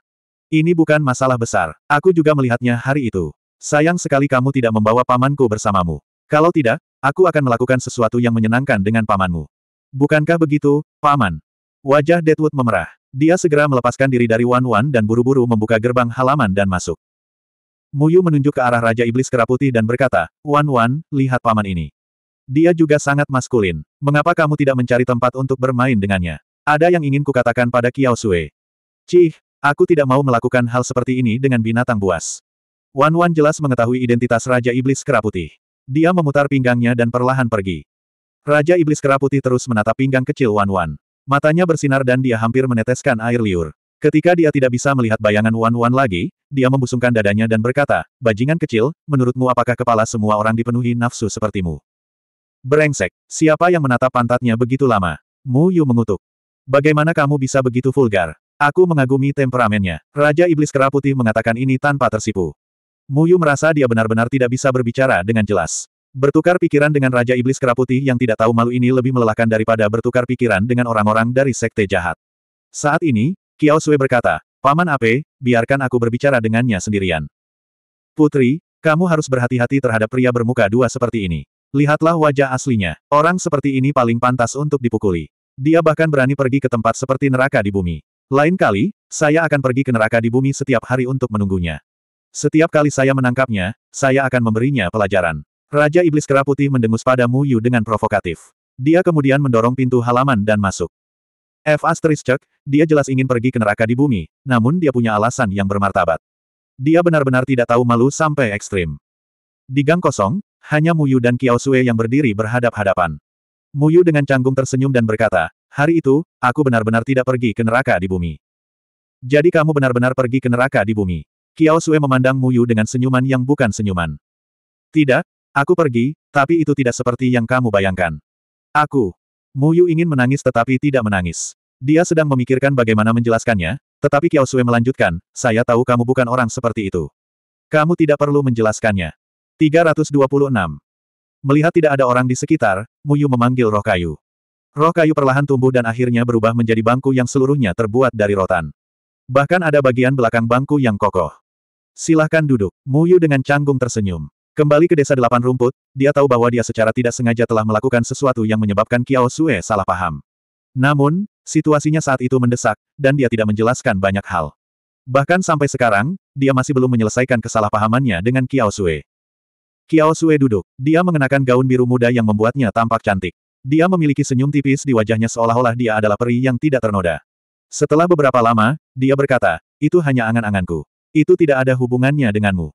Bukan begitu. Sebenarnya kamu juga sangat tampan. Sungguh, kamu juga gadis yang sangat baik. Mu Yu duduk di samping Kiao Sue. Dia tidak tahu harus berbuat apa. Dia masih merasakan sedikit rasa bersalah terhadap Kiao Sue, dan dia tidak ingin menahannya. Bagian mana dari diriku yang tampan? Kiao Sue dengan sengaja bertanya. Muyu tergagap, mata, hidung, dan mulutmu semuanya bagus. Kiao Sue tertawa terbahak-bahak. Ini adalah pertama kalinya Muyu melihat Kiao Sue tertawa. Ketika dia tertawa, seolah-olah es dan salju telah mencair, seperti angin musim semi membelai wajahnya, anggun seperti air, menyebabkan hati Muyu sedikit tergerak. Aneh sekali, bagaimana seseorang yang naif sepertimu menyebabkan keributan di dunia kultivasi. Apakah ekmu serendah itu? Kiao Sue bertanya. Muyu menggaruk kepalanya. Dia biasanya suka berbicara omong kosong di depan orang lain, tapi dia tidak tahu mengapa dia tidak bisa melakukannya di depan Kiao Sue. Mungkin karena dia mempunyai perasaan yang tak terkatakan terhadap Kiao Sue, jadi dia tidak punya keberanian untuk berbicara omong kosong dengannya. Aku tahu kamu menyukai Tian Ran. Sebenarnya, aku iri dengan keberaniannya. Dia berani membelamu di depan banyak orang dan bahkan dengan berani mengatakan bahwa dia menyukaimu. Dia benar-benar gadis yang langka. Dia terlihat seperti gadis lugu, dan dia sangat cocok dengan kepribadian naifmu. Kiao Sue berbicara secara alami tanpa emosi apa pun, seolah-olah dia melihat masalah ini dari sudut pandang orang yang melihatnya. Hati Muyu memang ditempati oleh Tian Ran. Waktu yang dia habiskan bersama Tian Ran di Gunung Luoshen adalah saat paling membahagiakan dalam hidupnya, tapi Muyu tidak pernah memikirkan kata seperti sebelumnya.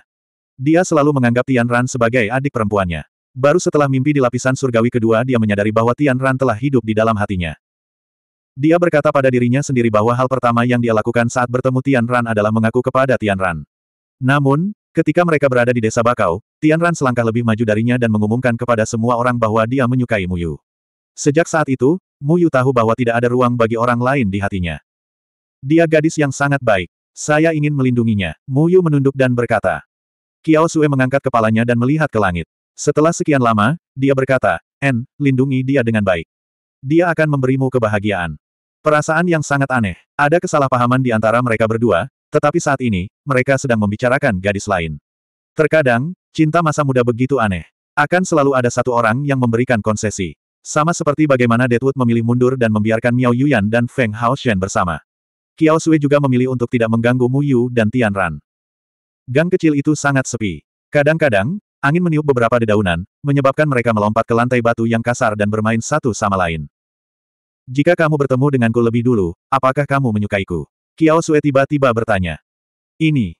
Mu Yu merasa aneh. Pertanyaan Kiao Sue sama dengan pertanyaan di mimpi. Di alam impian jiwa fantasi, Kiao Sue bertanya pada Mu Yu, apakah kamu tidak pernah memberiku kesempatan? Bahkan dalam mimpi pun tidak. Saat itu, Mu Yu tidak terlalu memikirkannya. Dia hanya menganggapnya sebagai mimpi. Tapi sekarang, Kiao Sui juga bertanya pada Mu Yu apakah dia mau memberinya kesempatan. Aku tidak tahu. Mu Yu tidak berani berjanji begitu saja. Terkadang, perkataan seseorang yang tidak disengaja dapat menyebabkan kesalahpahaman, dan masalah akan menyusul.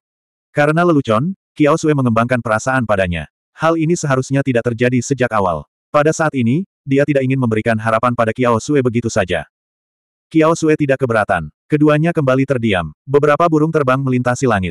Suasananya tenang dan santai. Hanya beberapa kicauan tajam yang terdengar.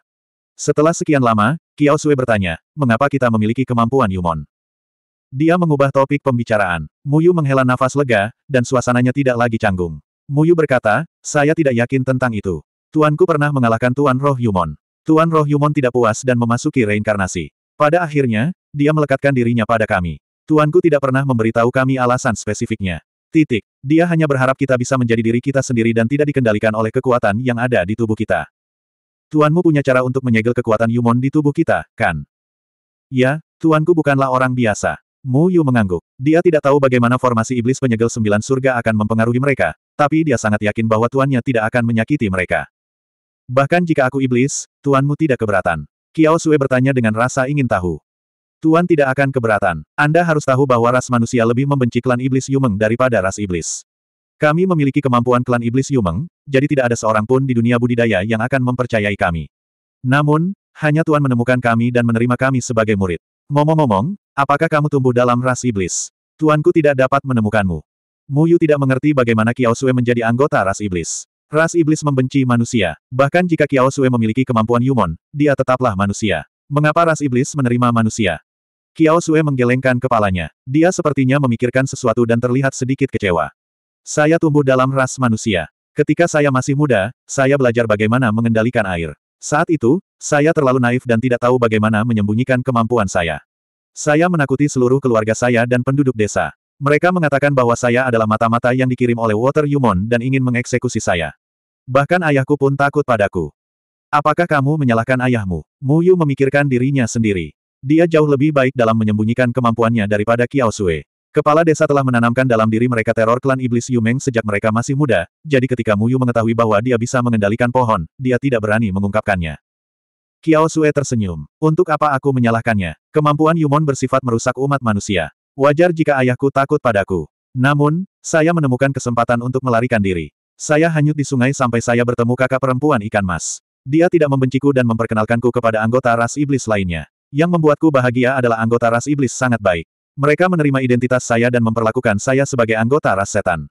Ras manusia meninggalkan Kiao Sue, namun ras iblis menerimanya. Oleh karena itu, Kiao Sue lebih mempercayai ras iblis. Aku lebih beruntung daripada kamu. Guruku mengetahui kemampuan kami, tetapi dia tidak memperlakukan kami sebagai sesuatu yang tidak normal. Sebaliknya, dia mengajari kami cara yang paling benar untuk berperilaku. Kemampuanku juga diberikan kepadaku olehnya. Muyu merasa sangat beruntung karena kepala desa dan gurunya, yang merupakan satu-satunya yang mengetahui kemampuannya, memilih untuk percaya padanya. Jika kamu mengikuti Jian Ying dan Chen Feng, yang lain akan aman. Tuanmu adalah dewa sejati yang pernah mengalahkan lima raja roh Yumeng. Jika dewa sejati bahkan dapat menjatuhkan lima raja roh Yumeng, mengapa dia tidak menjadi seperti itu? Mampu menjatuhkan beberapa setengah manusia setengah Yumeng. Kiao Sue tersenyum. Meskipun dia iblis, dia tentu pernah mendengar tentang Jian Ying dan Chen Feng, yang dihormati sebagai dewa sejati oleh umat manusia.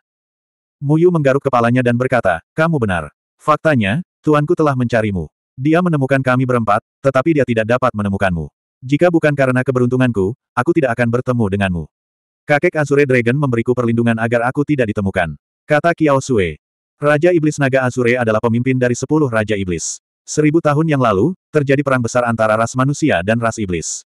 Dari sepuluh Raja Iblis, dialah satu-satunya yang berhasil melarikan diri. Dia membawa anggota ras iblis yang tersisa untuk hidup mengasingkan diri di tempat terpencil. Kemunculan Raja Iblis Kera Putih telah menyebabkan banyak sekte manusia merasa terancam. Jika Raja Iblis Naga Azure ditambahkan, banyak master dan tetua sekte mungkin bukan tandingannya. Monyet tua itu sepertinya sangat baik padamu. Muyu menjadi marah ketika memikirkan Raja Iblis Kera Putih. Orang ini tadinya sengaja memfitnahnya dan bahkan menganggap dirinya sebagai orang yang mulia dan berbudi luhur. Benar-benar tidak tahu malu. Jangan panggil dia seperti itu. Karena aku menyelamatkannya, jika iblis lain di klan bersikap kasar padaku, mereka akan dipukuli olehnya. Kiao Sue tidak bisa menyembunyikan senyumnya. Meskipun Raja Iblis Kera Putih ceroboh, dia tetaplah iblis yang setia. Muyu mengerutkan bibirnya dan berkata, akulah yang mengorbankan diriku untuk menyelamatkannya, jadi mengapa dia tidak berterima kasih padaku? Dia bahkan memfitnah kepolosanku tadi. Kiao Sue tersenyum dan berkata, sebenarnya, di desa delapan rumput, dia mengungkapkan identitasmu untuk memaksamu terpojok dan kemudian menyelamatkanmu agar kamu tunduk pada ras iblis kami. Namun, aku tahu ini tidak mungkin. Kamu akan melakukannya jangan pernah mengkhianati umat manusia. Cih, berkat dia, aku berlari lebih cepat. Muyu tidak optimis dengan monyet tua ini. Di mana martabat Raja Iblis? Dia jelas-jelas seorang huligan. Yang Kai bahkan curiga jika seluruh monster Rache dibawa keluar oleh monyet ini, bukankah monster Rache akan menjadi ras huligan? Pada akhirnya kita akan bertemu Yumon secara langsung. Baik kita berpihak pada ras manusia atau ras monster, musuh bersama kita akan selalu Yumon. Saya sangat senang karena saya tidak harus berdiri di pihak yang berlawanan. Darimu, roh air Kiao Sue turun dari pinggangnya dan mendarat di kursi rotan yang telah diubah oleh Muling. Segera setelah roh air dan roh kayu bersentuhan satu sama lain, perasaan gembira yang tak terlukiskan menyebar dari roh kayu dan roh air ke hati tuannya masing-masing, begitu gembira dan penuh vitalitas. Muyu memandang Kiao Sue dengan heran dan menemukan bahwa Kiao Sue juga kembali menatapnya. Perasaan telepati ini membuat seolah-olah tidak ada penghalang di antara mereka berdua. Segalanya tampak mengalir secara alami dan lancar, dan Muyu bahkan dapat dengan jelas merasakan detak jantung Kiao Sue. Kiao Sue tersipu dan segera mengambil kembali roh airnya. Hal ini belum pernah terjadi padanya sebelumnya. Detak jantung Muyu juga mulai bertambah cepat. Dia ingat kombinasi roh air dan muling cukup kuat. Namun, pada saat itu, roh air hanya menanggapi Muling dan tidak ada hubungannya dengan dia, tetapi hari ini, dia dapat dengan jelas melihat hati Kiao Sue dan perasaan yang dia miliki terhadapnya. Mulingmu sepertinya sangat menyukai roh airku, Kiao Sue diam-diam melirik Muyu dan berkata dengan ragu. Muyu merasa sedikit malu. Secara alami, dia sangat menyadari pemikiran roh kayu. Ketika benda rusak ini bertemu dengan roh air, ia berperilaku sangat aneh, seolah-olah ia sangat menyukai roh air. Pada saat itu, aura kekerasan tiba-tiba muncul dari halaman belakang mereka. Aura ini begitu sombong sehingga menyebabkan ekspresi Mu Yu dan Kiao Sue sedikit berubah. Monyet berbulu tua, apa yang kamu lakukan? Mu Yu segera berdiri. Aura sombong ini tidak lain adalah milik Raja Iblis Keraputih.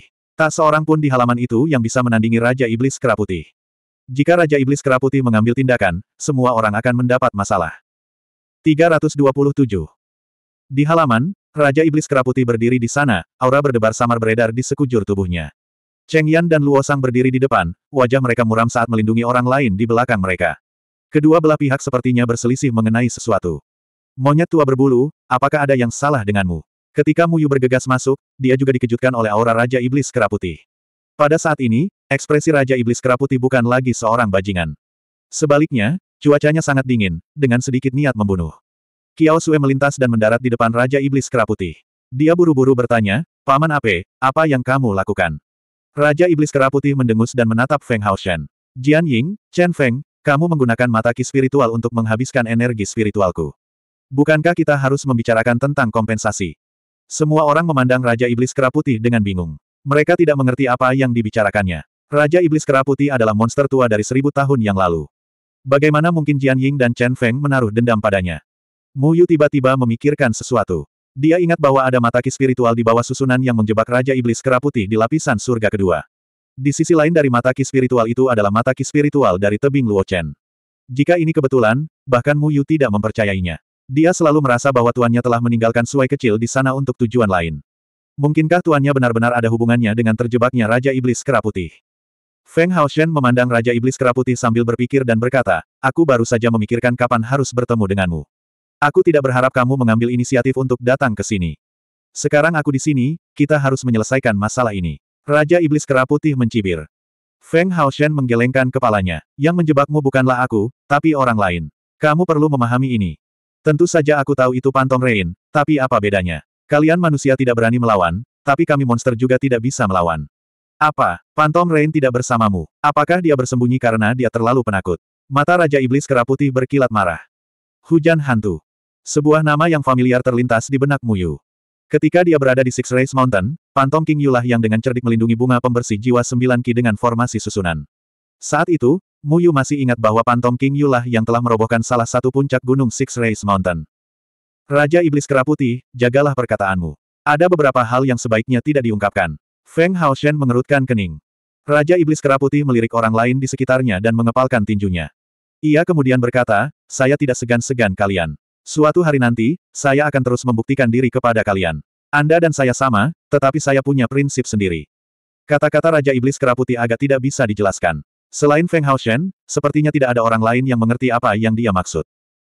Raja Iblis Keraputi dengan marah mengayunkan tangannya dan berbalik untuk pergi. Kiao Sue, ayo tinggalkan tempat ini. Muyu meraih Kiao Sue dan berkata, dia tidak bisa pergi. Kekuatan roh Lord Yumeng di tubuhnya perlu disegel. Raja Iblis Keraputi menatap tajam ke arah Muyu. Aku tidak butuh bantuanmu. Kau akan membuatnya terbunuh. Feng Haoshen berkata, hanya saya yang dapat membantu anak-anak ini. Jika Anda dapat melihat gambaran besarnya, Anda harus memahami apa artinya ini. Raja Iblis Keraputi ingin mengatakan sesuatu tetapi ragu-ragu. Lalu, dia dengan marah berkata kepada Feng Haoshen, baik. Namun Anda harus ingat bahwa banyak hal tidak akan berlalu begitu saja. Kita semua adalah eksistensi yang terlupakan oleh waktu, tapi bukan berarti Anda bisa mengambil keputusan untuk kami.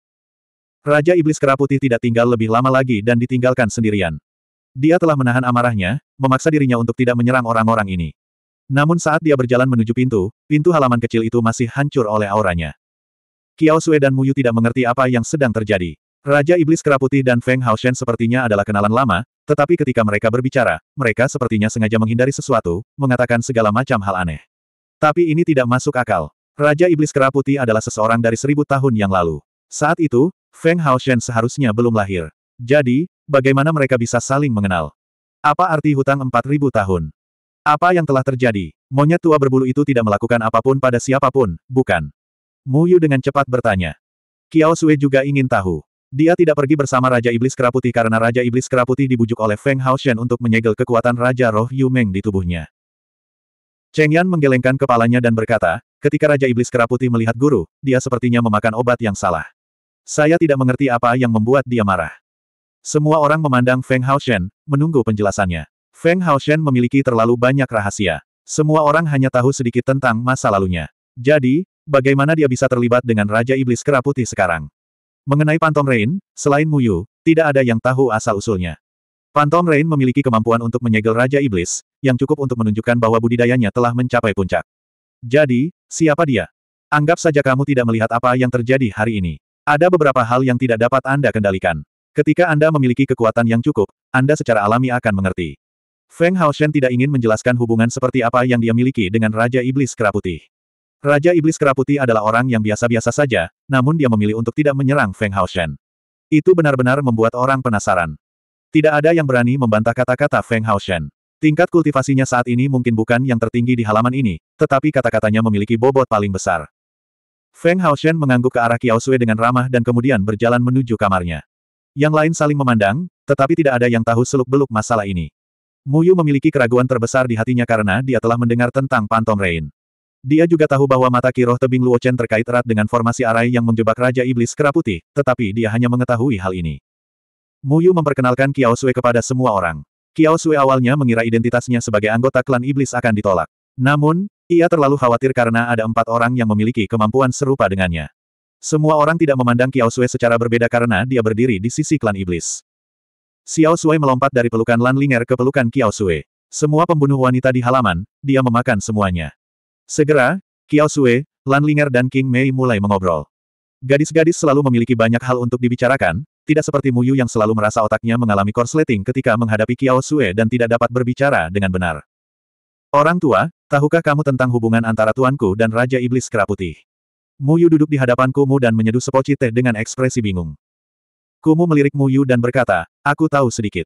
Jika beberapa hal dikatakan, itu akan terlalu mengejutkan. Pada saat itu, bahkan aku tidak dapat mempercayainya. Singkatnya, Anda harus mendengarkan pria itu dan jangan memikirkan hal-hal ini. Meskipun aku tidak menyukai tuanmu, aku harus mengakui bahwa dia benar-benar kuat. Banyak hal yang tidak sesederhana yang Anda pikirkan. Sebelum Anda mencapai kultivasi orang itu, Anda tidak boleh mengetahui hal-hal ini. Dia sepertinya memikirkan sesuatu dan sedikit ketakutan yang tidak terdeteksi muncul di wajahnya. Pada akhirnya, dia menggelengkan kepalanya dan menghilangkan pemikiran itu. Kumu juga secara tidak sengaja mengetahui beberapa hal. Hal-hal itu sudah lama mengganggunya. Meski dulu budidayanya cukup tinggi, namun ia tetap sangat terkejut saat menghadapi hal tersebut. Tes, kamu sangat tertutup, seperti dukun. Muyu mengerutkan bibirnya. Muyu, kemarilah sebentar. Cheng Yan tersenyum sopan pada Kumu, lalu melambai pada Muyu. Melihat Cheng Yan sepertinya memiliki sesuatu untuk didiskusikan, Muyu mengikuti Cheng Yan ke kamarnya dan menemukan bahwa Luo Sang, Qiao Sui, dan Xiang Nan juga ada di sana. Ekspresi Cheng Yan serius. Dia meminta Muyu mencari tempat untuk duduk dan berkata, Muyu, Kiao Sui berkata bahwa kamu diserang oleh Yumon di lapisan surga kedua. Apakah itu benar? Muyu mengangguk. Dia tidak mengerti mengapa Cheng Yan menanyakan hal ini. Lapisan surga kedua dan lapisan surga ketiga pernah dihuni oleh manusia, setan, dan Yumon. Namun, karena suatu alasan, iblis dan manusia menghilang. Surga lapisan kedua awalnya tidak memiliki ras lain selain iblis, jadi sudah jelas bahwa Yumon di lapisan surga kedua berasal dari sini.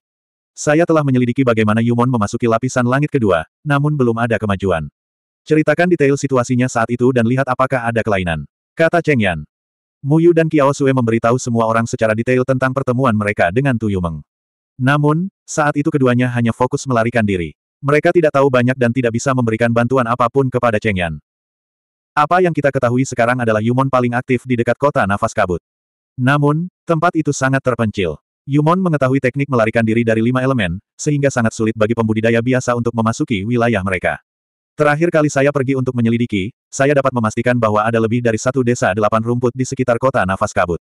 Mata ki spiritual adalah kunci menuju surga kedua, kata Cheng Yan. Muyu telah mengikuti dua Huo Yumeng ke sarang mereka, jadi teknik melarikan diri lima elemen tidak berguna melawannya. Mata ki spiritual desa delapan rumput sudah dilindungi dan ditempati oleh berbagai sekte besar. Muyu terlalu malas untuk bertanya secara spesifik bagaimana cara menghadapinya. Cheng Wei melanjutkan, kita semua tahu bahwa ki spiritual di lapisan surga kedua jauh lebih kaya daripada di lapisan surga ketiga. Kecepatan kultivasi di lapisan surga kedua beberapa kali lebih cepat daripada di sini.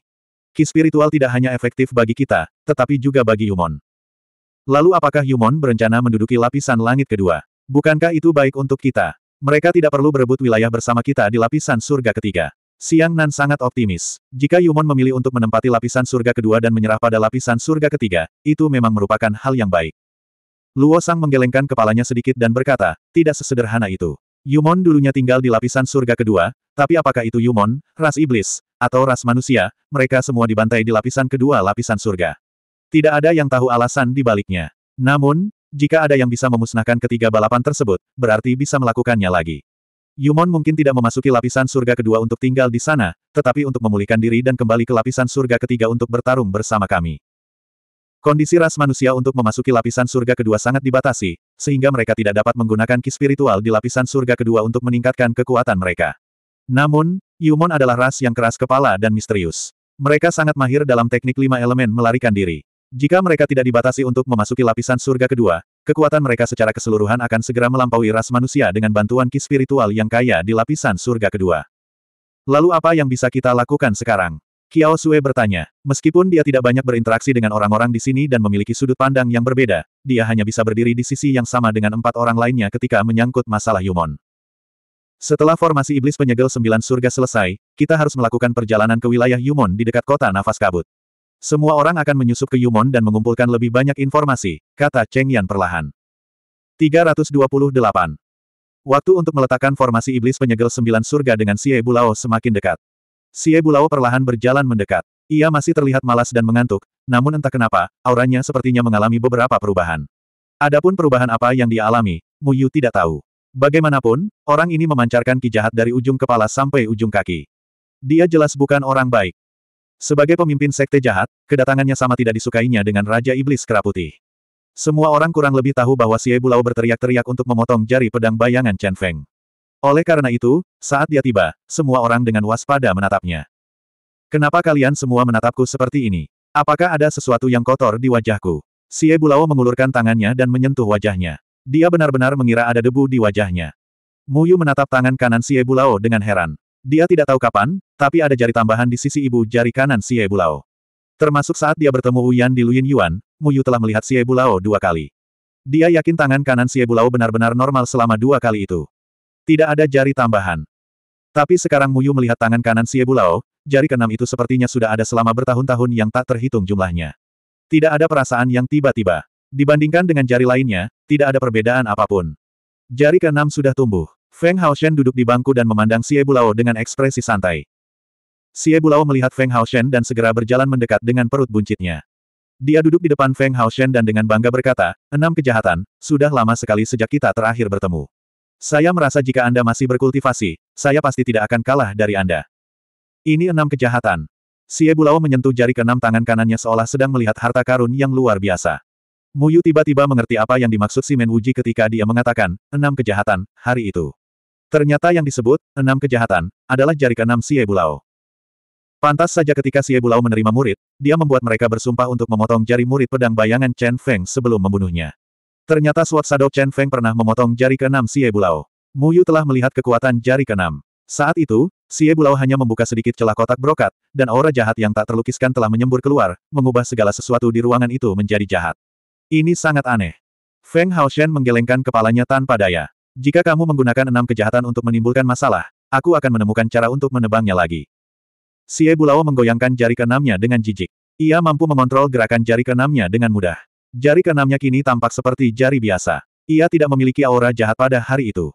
Kamu bukan lagi Jian Ying Chen Feng, jadi berhentilah mengancamku. Saya merasa setelah Liu Xie kembali, dia tampak menjadi 50 tahun lebih muda. Izinkan saya memberitahu Anda, ketika saya berhubungan seks dengan penatua perempuan dari Sekte Awan tak ada habisnya tadi malam, saya akhirnya mencoba gerakan sulit di tempat tidur yang belum pernah berani saya coba sebelumnya. Sudah cukup. Tidak bisakah kamu bersikap tidak sopan? Tidakkah kamu merasa malu di depan kelompok junior ini? Wajah Feng Haoshen dipenuhi ketidakberdayaan. Apa yang memalukan tentang itu? Semua orang menertawakan saya karena terlalu gila, dan saya menertawakannya karena tidak mampu memahaminya. Anda tahu, kita semua adalah orang-orang yang tidak biasa, jadi kita harus melakukan sesuatu yang berbeda. Kamu dan Pantong Rain, dua orang serius ini sudah cukup. Saya hanya akan bertugas melakukan hal-hal yang membahagiakan. Xie Bulao sepertinya telah berubah menjadi orang yang berbeda. Dia tidak menyalahkan Feng Haoshen. Sebaliknya, dia dengan bangga menunjukkan prinsipnya. Muyu memperhatikan bahwa Xie Bulao menyebut Pantom Rain lagi. Raja Iblis Keraputi pernah berkata bahwa Pantom Rain adalah orang yang menyegelnya. Muyu bahkan melihat formasi yang ditinggalkan oleh Pantom Rain di lapisan surga kedua. Bagaimana Pantom Rain ini mengenal tuanku? Makhluk ilahi macam apa dia? Karena kamu di sini, kita harus mulai mempersiapkan formasi iblis penyegel sembilan surga. Feng Haoshen dengan jelas memahami temperamen Xie Bulao. Dia tidak ingin terus berdebat dengannya.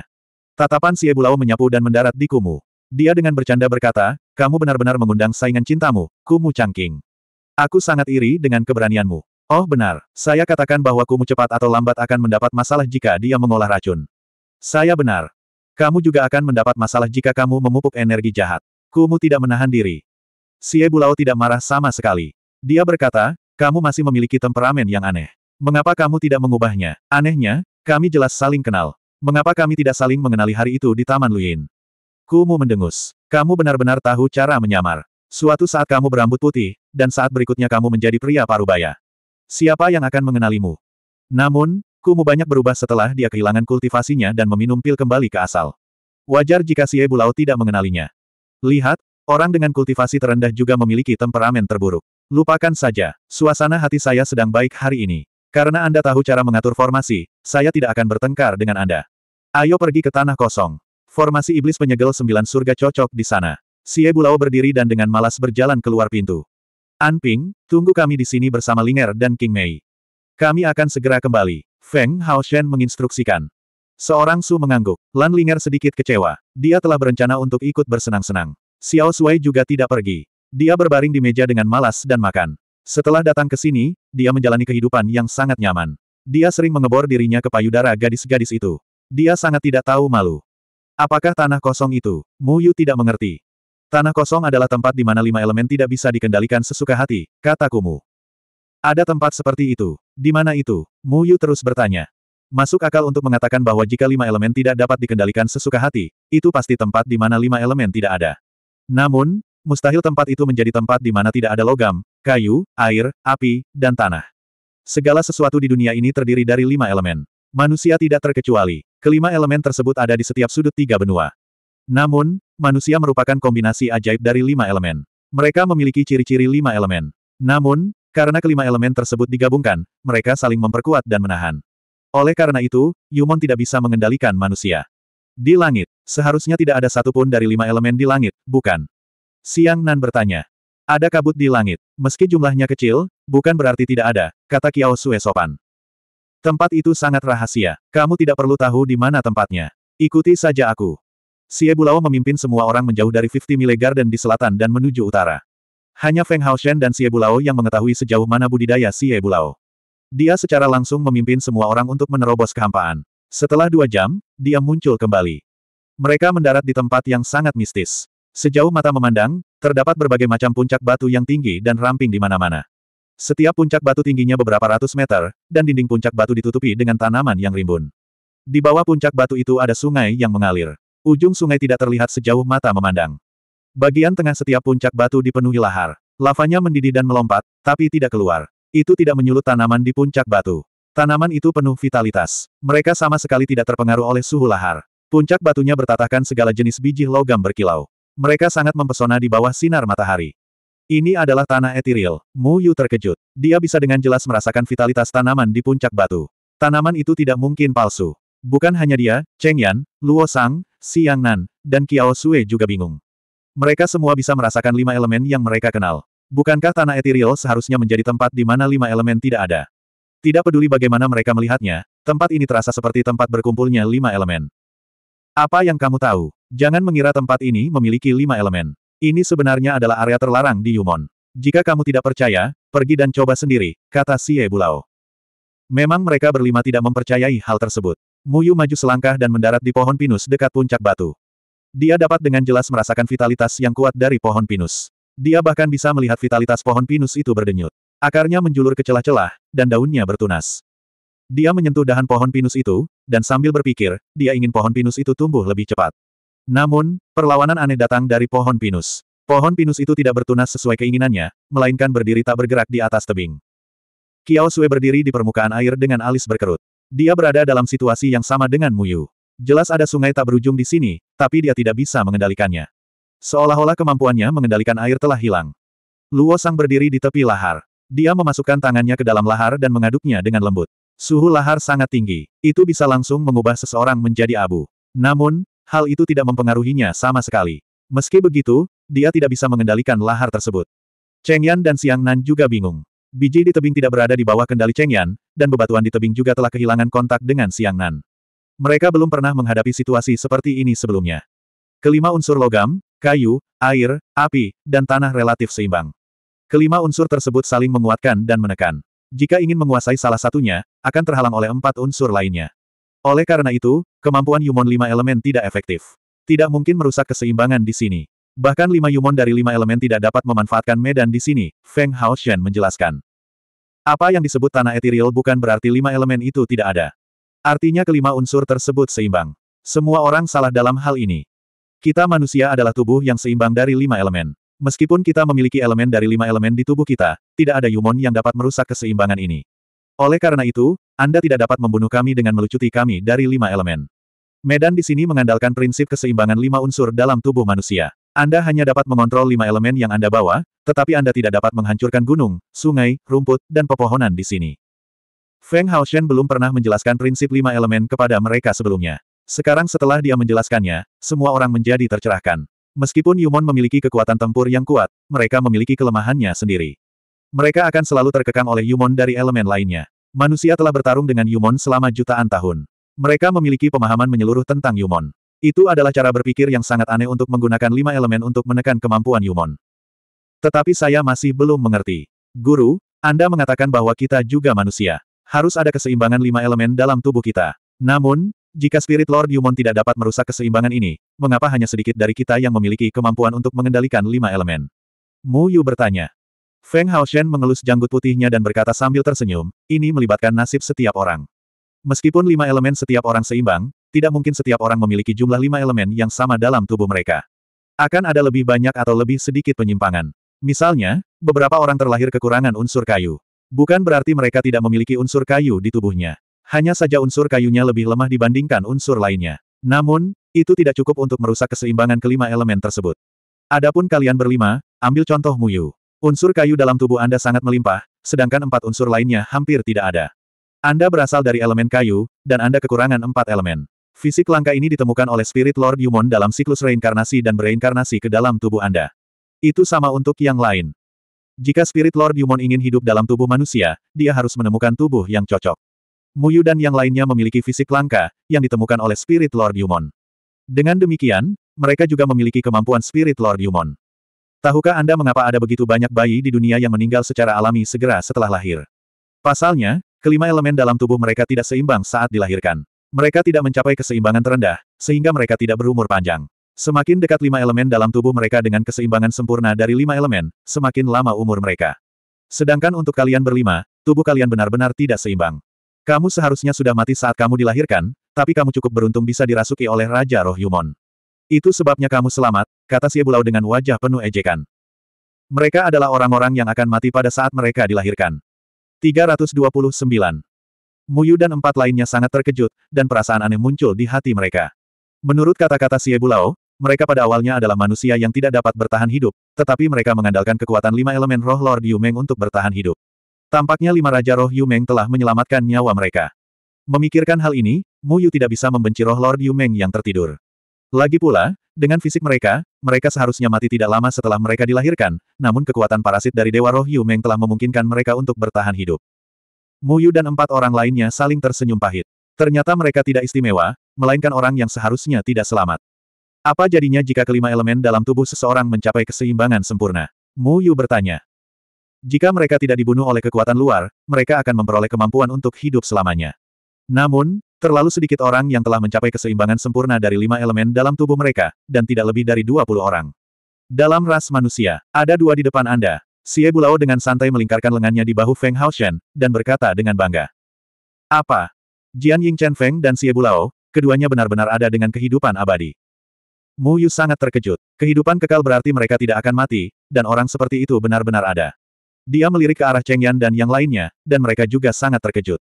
Jelas sekali mereka juga tidak mengetahui masalah ini. Xie Bulao, ada beberapa hal yang tidak boleh dikatakan. Feng Haoshen tanpa daya menyentuh dahinya. Dia tidak bisa berbuat apa-apa terhadap mulut besar Xie Bulao. Apa, apakah Anda khawatir murid Anda akan menginginkan tubuh abadi Anda? Xie Bulao mengejek. Kamu tahu apa yang aku khawatirkan? Feng Haoshen mengerutkan kening. Xie Bulao mendengus dan bergumam, orang-orang dari istana ketiga tidak ada di sini, dan pohon mati sudah mengetahuinya, jadi tidak masalah jika mereka mengetahuinya. Tuan, Anda adalah orang dengan kehidupan kekal, jadi berapa umur Anda? Muyu menelan seteguk air liur dan bertanya dengan kesal. Dia tiba-tiba mengerti mengapa Raja Iblis Keraputi, yang telah hidup selama beberapa ribu tahun, ingin menyelesaikan masalah dengan tuannya. Mereka mungkin saling kenal beberapa ribu tahun yang lalu. Feng Haoshen mengedipkan matanya, melihat ke langit, dan menghela nafas, berapa umur saya? Saya tidak ingat. Juga, sepuluh Raja Iblis besar dari ras Iblis juga dianggap sebagai keberadaan abadi. Azure Dragon dan aku adalah kenalan lama.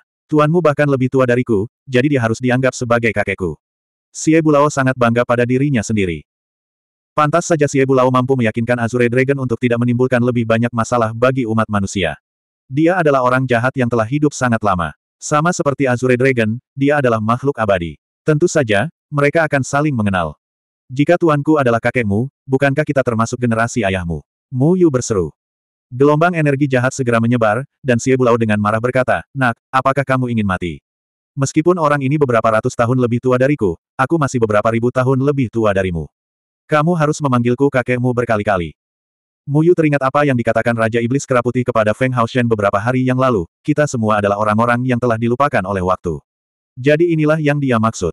Raja Daemon Keraputi pasti sudah mengenal Jian Ying dan Chen Feng sejak lama, itulah sebabnya dia mengatakan hal seperti itu. Adapun yang disebut Pantom King Yu, jika Mu Yu tidak salah menebak, dia pasti salah satu yang abadi. Setelah meletakkan formasi langit dan bumi, tuanmu akan segera mati. Ketika orang ini mendirikan penjara pengurungan abadi, saya menentangnya. Saya bilang otaknya kram. Masih banyak wanita cantik yang menunggunya mati. Setelah hidup selama beberapa ribu tahun, dia masih belum mengembalikan enam kejahatanku kepadaku. Aku akan mati karena marah. Xie Bulao mengutuk. Feng Haoshen melirik Xie Bulao dan berkata, hidup lama bukanlah hal yang baik. Karena banyak hal menjadi acuh tak acuh, kematian tidak lagi begitu menakutkan. Biarkan aku memberitahumu sebuah rahasia. Tuanmu mencintai tiga wanita dalam hidupnya. Dua di antaranya meninggal, jadi dia tidak berani berbicara tentang cinta lagi. Dia berkata bahwa dia tidak tega melihat wanita yang dicintainya mati sementara dia terus menjalani kehidupan yang tercela. Menurutku, anak perempuan itu ibarat pakaian. Jika mereka mati, ubah saja. Jika Anda tidak bisa mati selamanya, mengapa Anda takut tidak bisa menemukan yang lebih baik? Aku paling membencinya. 500 tahun yang lalu, ketika kekasih keduanya, Hua Wujing, meninggal karena usia tua, dia begitu tergila-gila hingga ingin bunuh diri dengannya. Jika aku tidak menariknya kembali, tuanmu tidak akan ada. Kata-kata Xie Bulao sangat mengejutkan. Kamu seharusnya tidak menariknya kembali. Kumu menyela tepat waktu. Jika Feng Haoshen tidak ada, dia dan Miao Yuyan mungkin akan bersama. Feng Haoshen menghela nafas dan berkata, Xie Bulao, apakah kamu sudah selesai? Xie Bulao menggelengkan kepalanya dan berkata, saya belum selesai. Kemudian, dia bertemu Miao Yuyan beberapa dekade lalu. Dia, yang tidak pernah jatuh cinta selama 500 tahun, tiba-tiba bangkit kembali dari abu dan jatuh cinta pada Miao Yuyan. Oh iya, aku lupa kalau ada pelamar lain untuk Miao Yuyan. Miao Yuyan tidak tahu bahwa monster tua kita Chen Feng abadi. Antara Kumu dan Chen Feng, dia memilih Chen Feng. Kali ini, dia bahkan lebih bodoh lagi. Dia sebenarnya bersiap untuk menghabiskan sisa hidupnya bersama Miao Yuyan. Jadi, dia menjadikan dirinya sendiri sebagai basis formasi penjara pengurungan abadi. Dia ingin menghabiskan sisa hidupnya bersama Miao Yuyan. Xie Bulao berhenti. Ia menyadari bahwa mampu membeberkan kekurangan Jian Ying Chen Feng di depan generasi muda sangatlah memuaskan. Jian Ying Chen Feng tidak bisa membungkam Xie Bulao sekarang. Dia melanjutkan, sayangnya, akhir cerita tidak terlalu bagus. Miao Yuyan, sebagai orang suci dari Sekte Debu Merah, seharusnya tidak jatuh cinta. Pada saat ini, penjara pengurungan abadi mulai berlaku. Budidaya cinta Saint Chen Feng kami jatuh, dan dia tidak bisa kawin lari dengan Miao Yuyan. Istana tiga kali lipat menentang persetujuan mereka. Merasa putus asa dan bersalah, Love Sein bersembunyi di pegunungan Moyun dan bersiap untuk mati bersama orang-orang di sana. Jika kamu mengembalikan enam kejahatan kepadaku lebih awal, aku akan bergegas ke Sekte Debu Merah dan merebut kembali Miao Yuyan untukmu. Kenapa kamu harus begitu getir? Kamu terlalu sering menggunakan enam kejahatan. Banyak orang tak bersalah yang diiblis olehmu. Bagaimana aku bisa mengembalikan enam kejahatan kepadamu? Nada suara Feng Haoshen bercampur dengan sedikit kemarahan. Namun, Kumu tiba-tiba menjadi marah. Tidak ada yang menyangka dia akan meledak amarahnya, jadi, kamu bisa saja meminta Xie Bulao untuk menyelamatkan Yuyan, tapi kamu tidak mau melakukannya. Di matamu, enam kejahatan Xie Bulao lebih berharga dari Yuyan, bukan? Saya pikir kamu akan memperlakukannya dengan baik. Sekarang aku memikirkannya, aku salah. Kamu bahkan tidak bisa dibandingkan dengan kebahagiaan Yuyan. Pikiran Anda penuh dengan kebajikan dan kebenaran. Anda ingin menjadi pahlawan dunia, tetapi tidak berani menjadi suami dari wanita yang Anda cintai. Anda seorang pengecut. Beraninya kamu mengatakan bahwa kamu mencintainya. Baginya, saya bisa menghilangkan prasangka saya terhadap Anda dan membiarkan Anda memulihkan kultivasi Anda untuk menyelamatkannya. Tapi bagaimana denganmu? Apa yang telah kamu lakukan untuknya? Tidak ada yang menyangka pohon mati akan begitu marah. Lidah Siebulaoda telah menunjukkan masalah ini dengan jelas, membiarkan pohon mati mengetahui beberapa rahasia. Kumu tahu bahwa Feng Haoshen adalah makhluk abadi, dan itulah mengapa dia memilih untuk mundur. Dia berpikir bahwa Feng Haoshen dapat memberikan kehidupan terbaik kepada Miao Yuyan. Tapi dia salah. Jian Ying Chen Feng yang lama telah menjadi Feng Haoshen yang lemah karena penjara pengurungan abadi. Dia mengira Feng Haoshen tidak bisa menyelamatkan Miao Yuyan karena dia kehilangan kultivasinya. Kumu tidak memiliki kemampuan untuk masuk ke Sekte Debu Merah, jadi dia mencoba yang terbaik untuk membantu Feng Haoshen memulihkan budidayanya. Dia ingin Feng Haoshen menyelamatkan Miao Yuyan. Feng Haoshen bisa saja meminta bantuan Xie Bulao, tetapi dia tidak melakukannya. Miao Yuyan dipenjara oleh Sekte Debu Merah selama lebih dari 20 tahun. Feng Haoshen terdiam. Dia ingin menjadi pahlawan dunia, namun dia tidak berani menjadi suami dari wanita yang dicintainya. Kalimat ini sangat menyakiti hatinya. Sejak dia melihat putrinya, Tian Ran, dia tahu bahwa dia salah, tetapi dia tidak berani menebusnya. Ia jatuh cinta pada dua orang, namun tak satu pun dari mereka meninggalkan seorang anak karena ia takut melihat anak-anaknya menjadi tua. Namun Miao Yuyan diam-diam melahirkan Tian Ran. Ini adalah sesuatu yang tidak dia duga. Setelah sekian lama, Feng Haoshen berkata dengan lembut, bahkan jika saya menyelamatkan Yuyan pada saat itu, saya tidak dapat melindunginya. Dia memiliki tanda sekte debu merah di tubuhnya, dan dia akan ditemukan ke mana pun dia pergi. Jika saya ingin membawanya ke penjara pengurungan abadi, dia harus melepaskan kultivasinya. Coba pikirkan, apa yang akan terjadi pada Anda setelah Anda kehilangan kultivasi? Berapa lama Anda akan hidup tanpa pil pengembalian asal? Berapa lama dia bisa hidup? Kumu mengepalkan tangannya, lalu mengendurkannya. Dia tidak bisa membantah kata-kata Feng Haoshen. Ini adalah sebuah dilema. Ketika dia kehilangan kultivasinya, tubuhnya menjadi sangat tua. Dia hampir kehilangan nyawanya setelah bertengkar dengan lelaki tua itu. Miao Yuyan kira-kira seusia dengannya. Jika dia kehilangan kultivasinya, dia tidak akan berada dalam situasi yang baik. Jika Anda mencintai seseorang, Anda tidak ingin melihatnya menderita. Inilah cintakumu. Jika Anda mencintai seseorang, Anda tidak ingin dia kehilangan nyawanya. Ini adalah cinta Feng Haoshen. Oh, jadi kalian semua Casanova. Xie Bulao mencibir, seolah-olah dia adalah orang luar yang menonton pertunjukan itu. Dia hanya tahu cara mencari kenikmatan daging, tapi dia tidak terlalu mencintai seorang wanita. Dia tidak memahami hal-hal ini. Muyu merasakan kepanikan yang tak terlukiskan di dalam hatinya. Majikannya telah membuat pilihan yang salah. Dia telah memberikan budidayanya ke istana ketiga, menyebabkan dia tidak bisa tinggal bersama Miao Yuyan. Tapi sekarang dia juga menyukai Tian Ran. Tian Ran adalah gadis suci dari Sekte Debu Merah, dan merupakan tabu baginya untuk bersama seorang pria. Bagaimana dia bisa menghadapi Tian Ran di masa depan? Bagaimana dia bisa menghadapi Sekte Debu Merah yang sangat besar? Kasanovaku, aku tidak ingin melihatmu mati. Tahukah kamu bahwa penjaga istana ketiga bukanlah orang baik? Dia selalu menginginkan sesuatu dari kita. Sudahkah kamu lupa? Kata Xie Bulao. Aku tahu. Penjaga itu ingin mendapatkan kemampuan hidup kekal dariku. Dia ingin menunggu sampai aku mati dan tubuhku benar-benar terbebas dari penjara pengurungan abadi. Kemudian, dia akan menggunakan kekuatan gerbang neraka untuk merebut tubuhku. Pada saat itu, meskipun jiwaku akan mati, tubuhku akan tetap abadi. Feng Haoshen mendengus. Rahasia kehidupan kekal adalah sesuatu yang didambakan semua orang. Umur setiap orang terbatas. Terlalu sedikit orang di umat manusia yang memiliki fisik kehidupan kekal. Jian Ying, Chen Feng, dan Xie Bulao keduanya adalah eksistensi dengan kultivasi yang sangat tinggi. Orang-orang di gerbang neraka dan gerbang kehidupan dan kematian selalu mengejar kehidupan kekal. Mereka mengirim orang ke pegunungan Moyun untuk mengendalikan Feng Haoshen. Mereka juga pergi ke lapisan kedua untuk membunuh Raja Iblis Kera Putih dan mendapatkan tubuh kehidupan abadinya. Sayangnya, rencana mereka secara tidak sengaja dihancurkan oleh Muyu. Di pegunungan Moyun, Muyu, yang kehilangan kendali, melukai Gui Suanyu dengan serius. Di lapisan kedua, Muyu, yang ingin membantu Kiao Sue, membunuh Gui Suanyu. Bagaimana dia bisa tahu bahwa kedua hal ini ada hubungannya dengan rahasia hidup kekal? Feng Haoshen adalah orang yang telah hidup selama beberapa ribu tahun. Dia tahu bahwa penjaga istana ketiga memiliki pemahaman yang jelas tentang pergerakan gerbang neraka. Jika bukan karena persetujuan diam-diam dari penjaga, bagaimana mungkin gerbang neraka berani memasuki pegunungan Moyun dengan begitu berani dan menargetkan Jian Ying dan Chen Feng? Kemungkinan besar penjaga tersebut dengan sengaja menginstruksikan gerbang neraka untuk melakukan hal-hal ini. Jika mereka berhasil, tubuh kehidupan abadi Jian Ying, Chen Feng, dan Raja Iblis Keraputi semuanya akan jatuh ke tangan penjaga. Istana ketiga adalah raksasa misterius. Setiap orang di dunia budidaya harus mendengarkan perintah mereka. Tidak ada yang berani menantang prestise mereka. Namun, betapapun kuatnya mereka, mereka tidak bisa lepas dari kematian. Orang dengan kekuasaan tertinggi paling takut mati. 330. Masalah keabadian melibatkan terlalu banyak hal. Feng Haoshen tidak pernah mengungkapkan rahasia ini karena dia tidak ingin menyeret lebih banyak orang ke dalamnya. Jika mereka tidak berbicara tentang keseimbangan lima elemen hari ini, Xie Bulao tidak akan banyak bicara.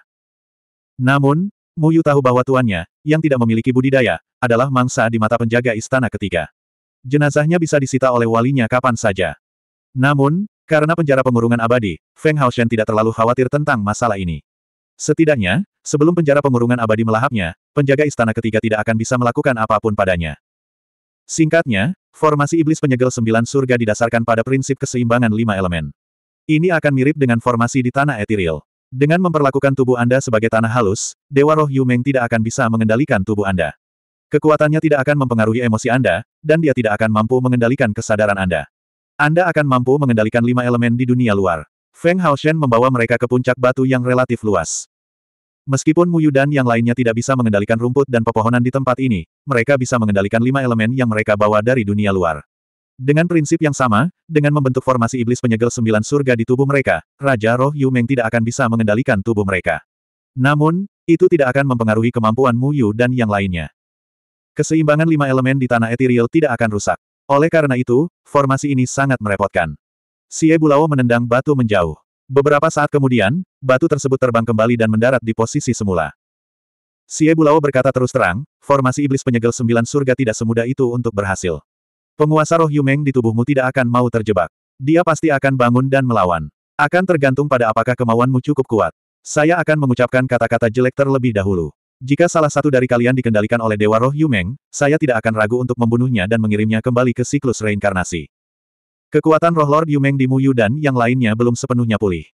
Terlebih lagi, bahkan jika dia mengendalikan Muyu dan yang lainnya, mereka akan terbangun di tanah etiril. Kemampuan mereka akan sangat berkurang. Oleh karena itu, Xie Bulao memiliki kemampuan untuk melakukan ini. Kecuali jika benar-benar diperlukan, aku tidak akan membiarkan dia membunuh siapa pun. Jangan khawatir, saya sering mengajarimu bahwa kamu harus hidup sesuai dengan hatimu sendiri ketika melakukan sesuatu. Selama hatimu tenang, tindakanmu lurus, dan kamu tidak tersihir oleh Dewa Roh Yumeng, tidak akan ada masalah. Kata-kata Feng Haoshen jauh lebih bagus daripada kata-kata Xie Bulao. Dia telah mengajari Mu Yu dan yang lainnya nilai-nilai yang benar, berharap mereka dapat membedakan diri mereka dari Dewa Roh Yumeng dan menjadi manusia normal. Kiao Sue, kamu harus berhati-hati, kata Mu Yu. Mereka berempat telah menerima ajaran Feng Haoshen dan mengembangkan sutra kejatuhan debu.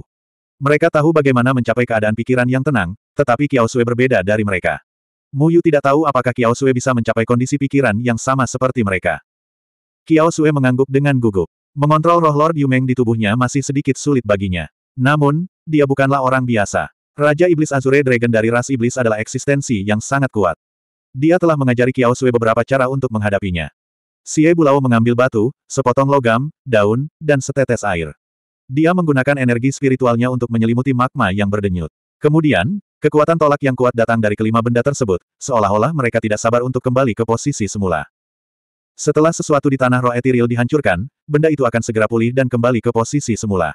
Arai roh etiril yang kuat memastikan integritas tempat ini, dan Siebulau menggunakan kultivasinya yang mendalam untuk sementara waktu menolak kekuatan pemulihan dari arai ini. Menyiapkan arai penyegel setan sembilan surga membutuhkan bantuan lima elemen di sini. Kamu hanya tahu bagaimana memanfaatkanku sebagai kuli.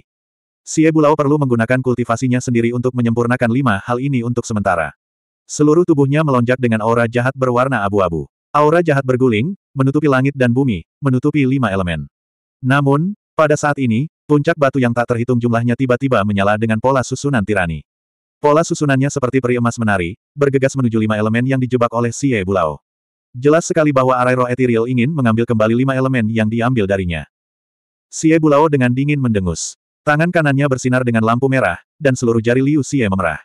Aura jahat berwarna merah tua mengalir menuju pola susunan dengan suara siulan yang aneh. Ketika pola susunan emas bertemu dengan aura jahat merah, pola itu sepertinya ditekan. Pola susunannya awalnya adalah prasasti kuno. Setelah terkontaminasi oleh Liu Xie, prasasti kuno emas itu segera diwarnai merah. Sepasang mata jahat benar-benar muncul di setiap prasasti kuno. Liu Xie dari Xie Bulao memiliki kemampuan untuk menjelekkan apa pun. Kultivasinya telah mencapai tingkat di mana dia bisa menjelekkan pola susunan. Benar-benar menakutkan. Mu Yu dan empat lainnya saling memandang. Terlepas dari apakah itu aura jahat Xie Bulao atau pola susunan emas kuno, aura mengerikan yang dipancarkan oleh mereka adalah sesuatu yang tidak dapat mereka bandingkan. Di depan Xie Bulao, mereka merasa seperti semut di kaki gunung. Mereka hanya bisa gemetar ketakutan. Feng Haoshen dan Kumu sudah berdiri di udara. Mereka menggunakan energi spiritual mereka untuk mengukir pola susunan. Lengan Kumu menari, dan giok ekstrim cahaya ungu muncul di sampingnya. Sejumlah besar energi spiritual mengalir menuju tubuh Kumu. Aliran energi spiritual putih muncul di ujung jari Kumu. Itu seperti garis tipis yang menyembur keluar. Garis-garis energi spiritual itu saling bersilangan secara teratur. Ketika mereka terhubung bersama, mereka membentuk bentuk yang teratur. Jari telunjuk dan jari tengah tangan kanan Feng Haoshen menyatu. Ujung jarinya bersinar dengan cahaya kemasan. Dia terus mengukir prasasti kuno di udara. Setiap prasasti misterius dibentuk oleh energi spiritual. Setelah setiap prasasti terbentuk, prasasti itu beriak di udara bersama angin dan mengelilingi Feng Haoshen. Tangan kiri Feng Haoshen memandu prasasti itu, dan perlahan-lahan menyatu dengan pola susunan yang diukir kumuh. Ketiganya memiliki pembagian kerja yang jelas, tetapi mereka bekerja sama dengan pemahaman diam-diam. Mereka bertiga semuanya ahli dalam mengatur susunan, jadi mereka tidak akan membuat kesalahan apa pun. Arai penyegel iblis surga ke-9 adalah formasi yang sengaja ditargetkan pada Yumon. Ketika perang antara umat manusia dan Yumon pecah, umat manusia mengandalkannya untuk menang. Namun, formasi ini bukanlah sesuatu yang bisa diatur oleh semua orang. Tidak banyak orang di umat manusia yang mahir dalam formasi. Hanya master formasi dari fraksi formasi yang dapat dianggap memiliki pemahaman tentang Dao formasi. Ini adalah proses yang panjang. Muyu dan yang lainnya tidak bisa membantu sama sekali. Mereka hanya bisa menonton dari samping. Di saat yang sama, mereka juga memahami betapa rumitnya formasi ini. Kumu membutuhkan waktu hampir 10 jam untuk mengukir bentuk embrio dari arai penyegel iblis surga ke-9. Dia hanya berada pada tingkat budidaya periode Jindan. Mengonsumsi energi spiritual dalam jumlah besar terlalu berlebihan baginya. Jika bukan karena pil yang tak terhitung jumlahnya yang dimiliki Muyu untuk mengisi kembali energi spiritualnya, serta giok ekstrim cahaya ungu, Kumu mungkin tidak akan mampu bertahan. Feng Haoshen tidak menunjukkan tanda-tanda berkurangnya energi spiritual. Ini karena dia dapat meminjam kekuatan formasi langit dan bumi dan mentransfer energi spiritual formasi langit dan bumi ke dirinya sendiri.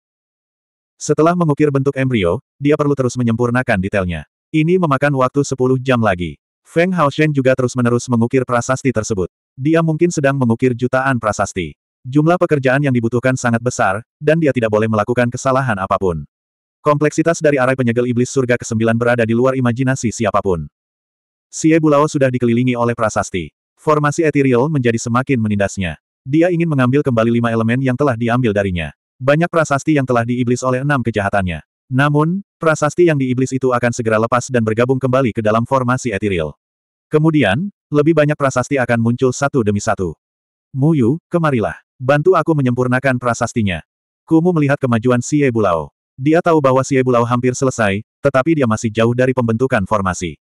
Jika dia tidak dapat membentuk formasi, maka prasasti Feng Haoshen tidak akan dapat ditempatkan sepenuhnya ke dalam formasi.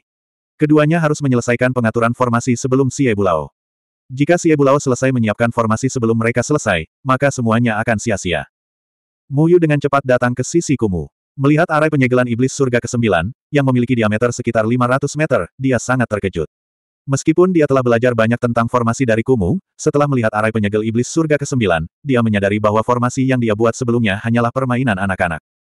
Kamu mengajari Mu Yu formasi. Feng Haoshen mengerutkan kening, tapi tangannya tidak berhenti. Kumu meliriknya dan berkata, bukankah konyol jika muridku tidak mempelajari formasinya?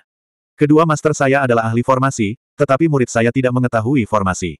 Aku tidak ingin dia keluar dan mempermalukanku.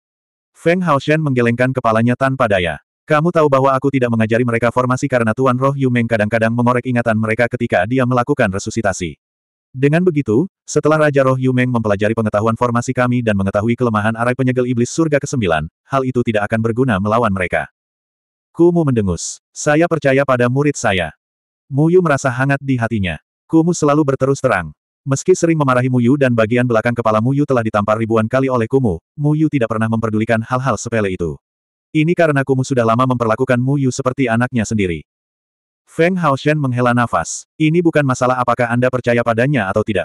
Ini untuk melindungi keselamatan mereka. Selain itu, pencapaian kami dalam formasi susunan termasuk yang terbaik di dunia budidaya.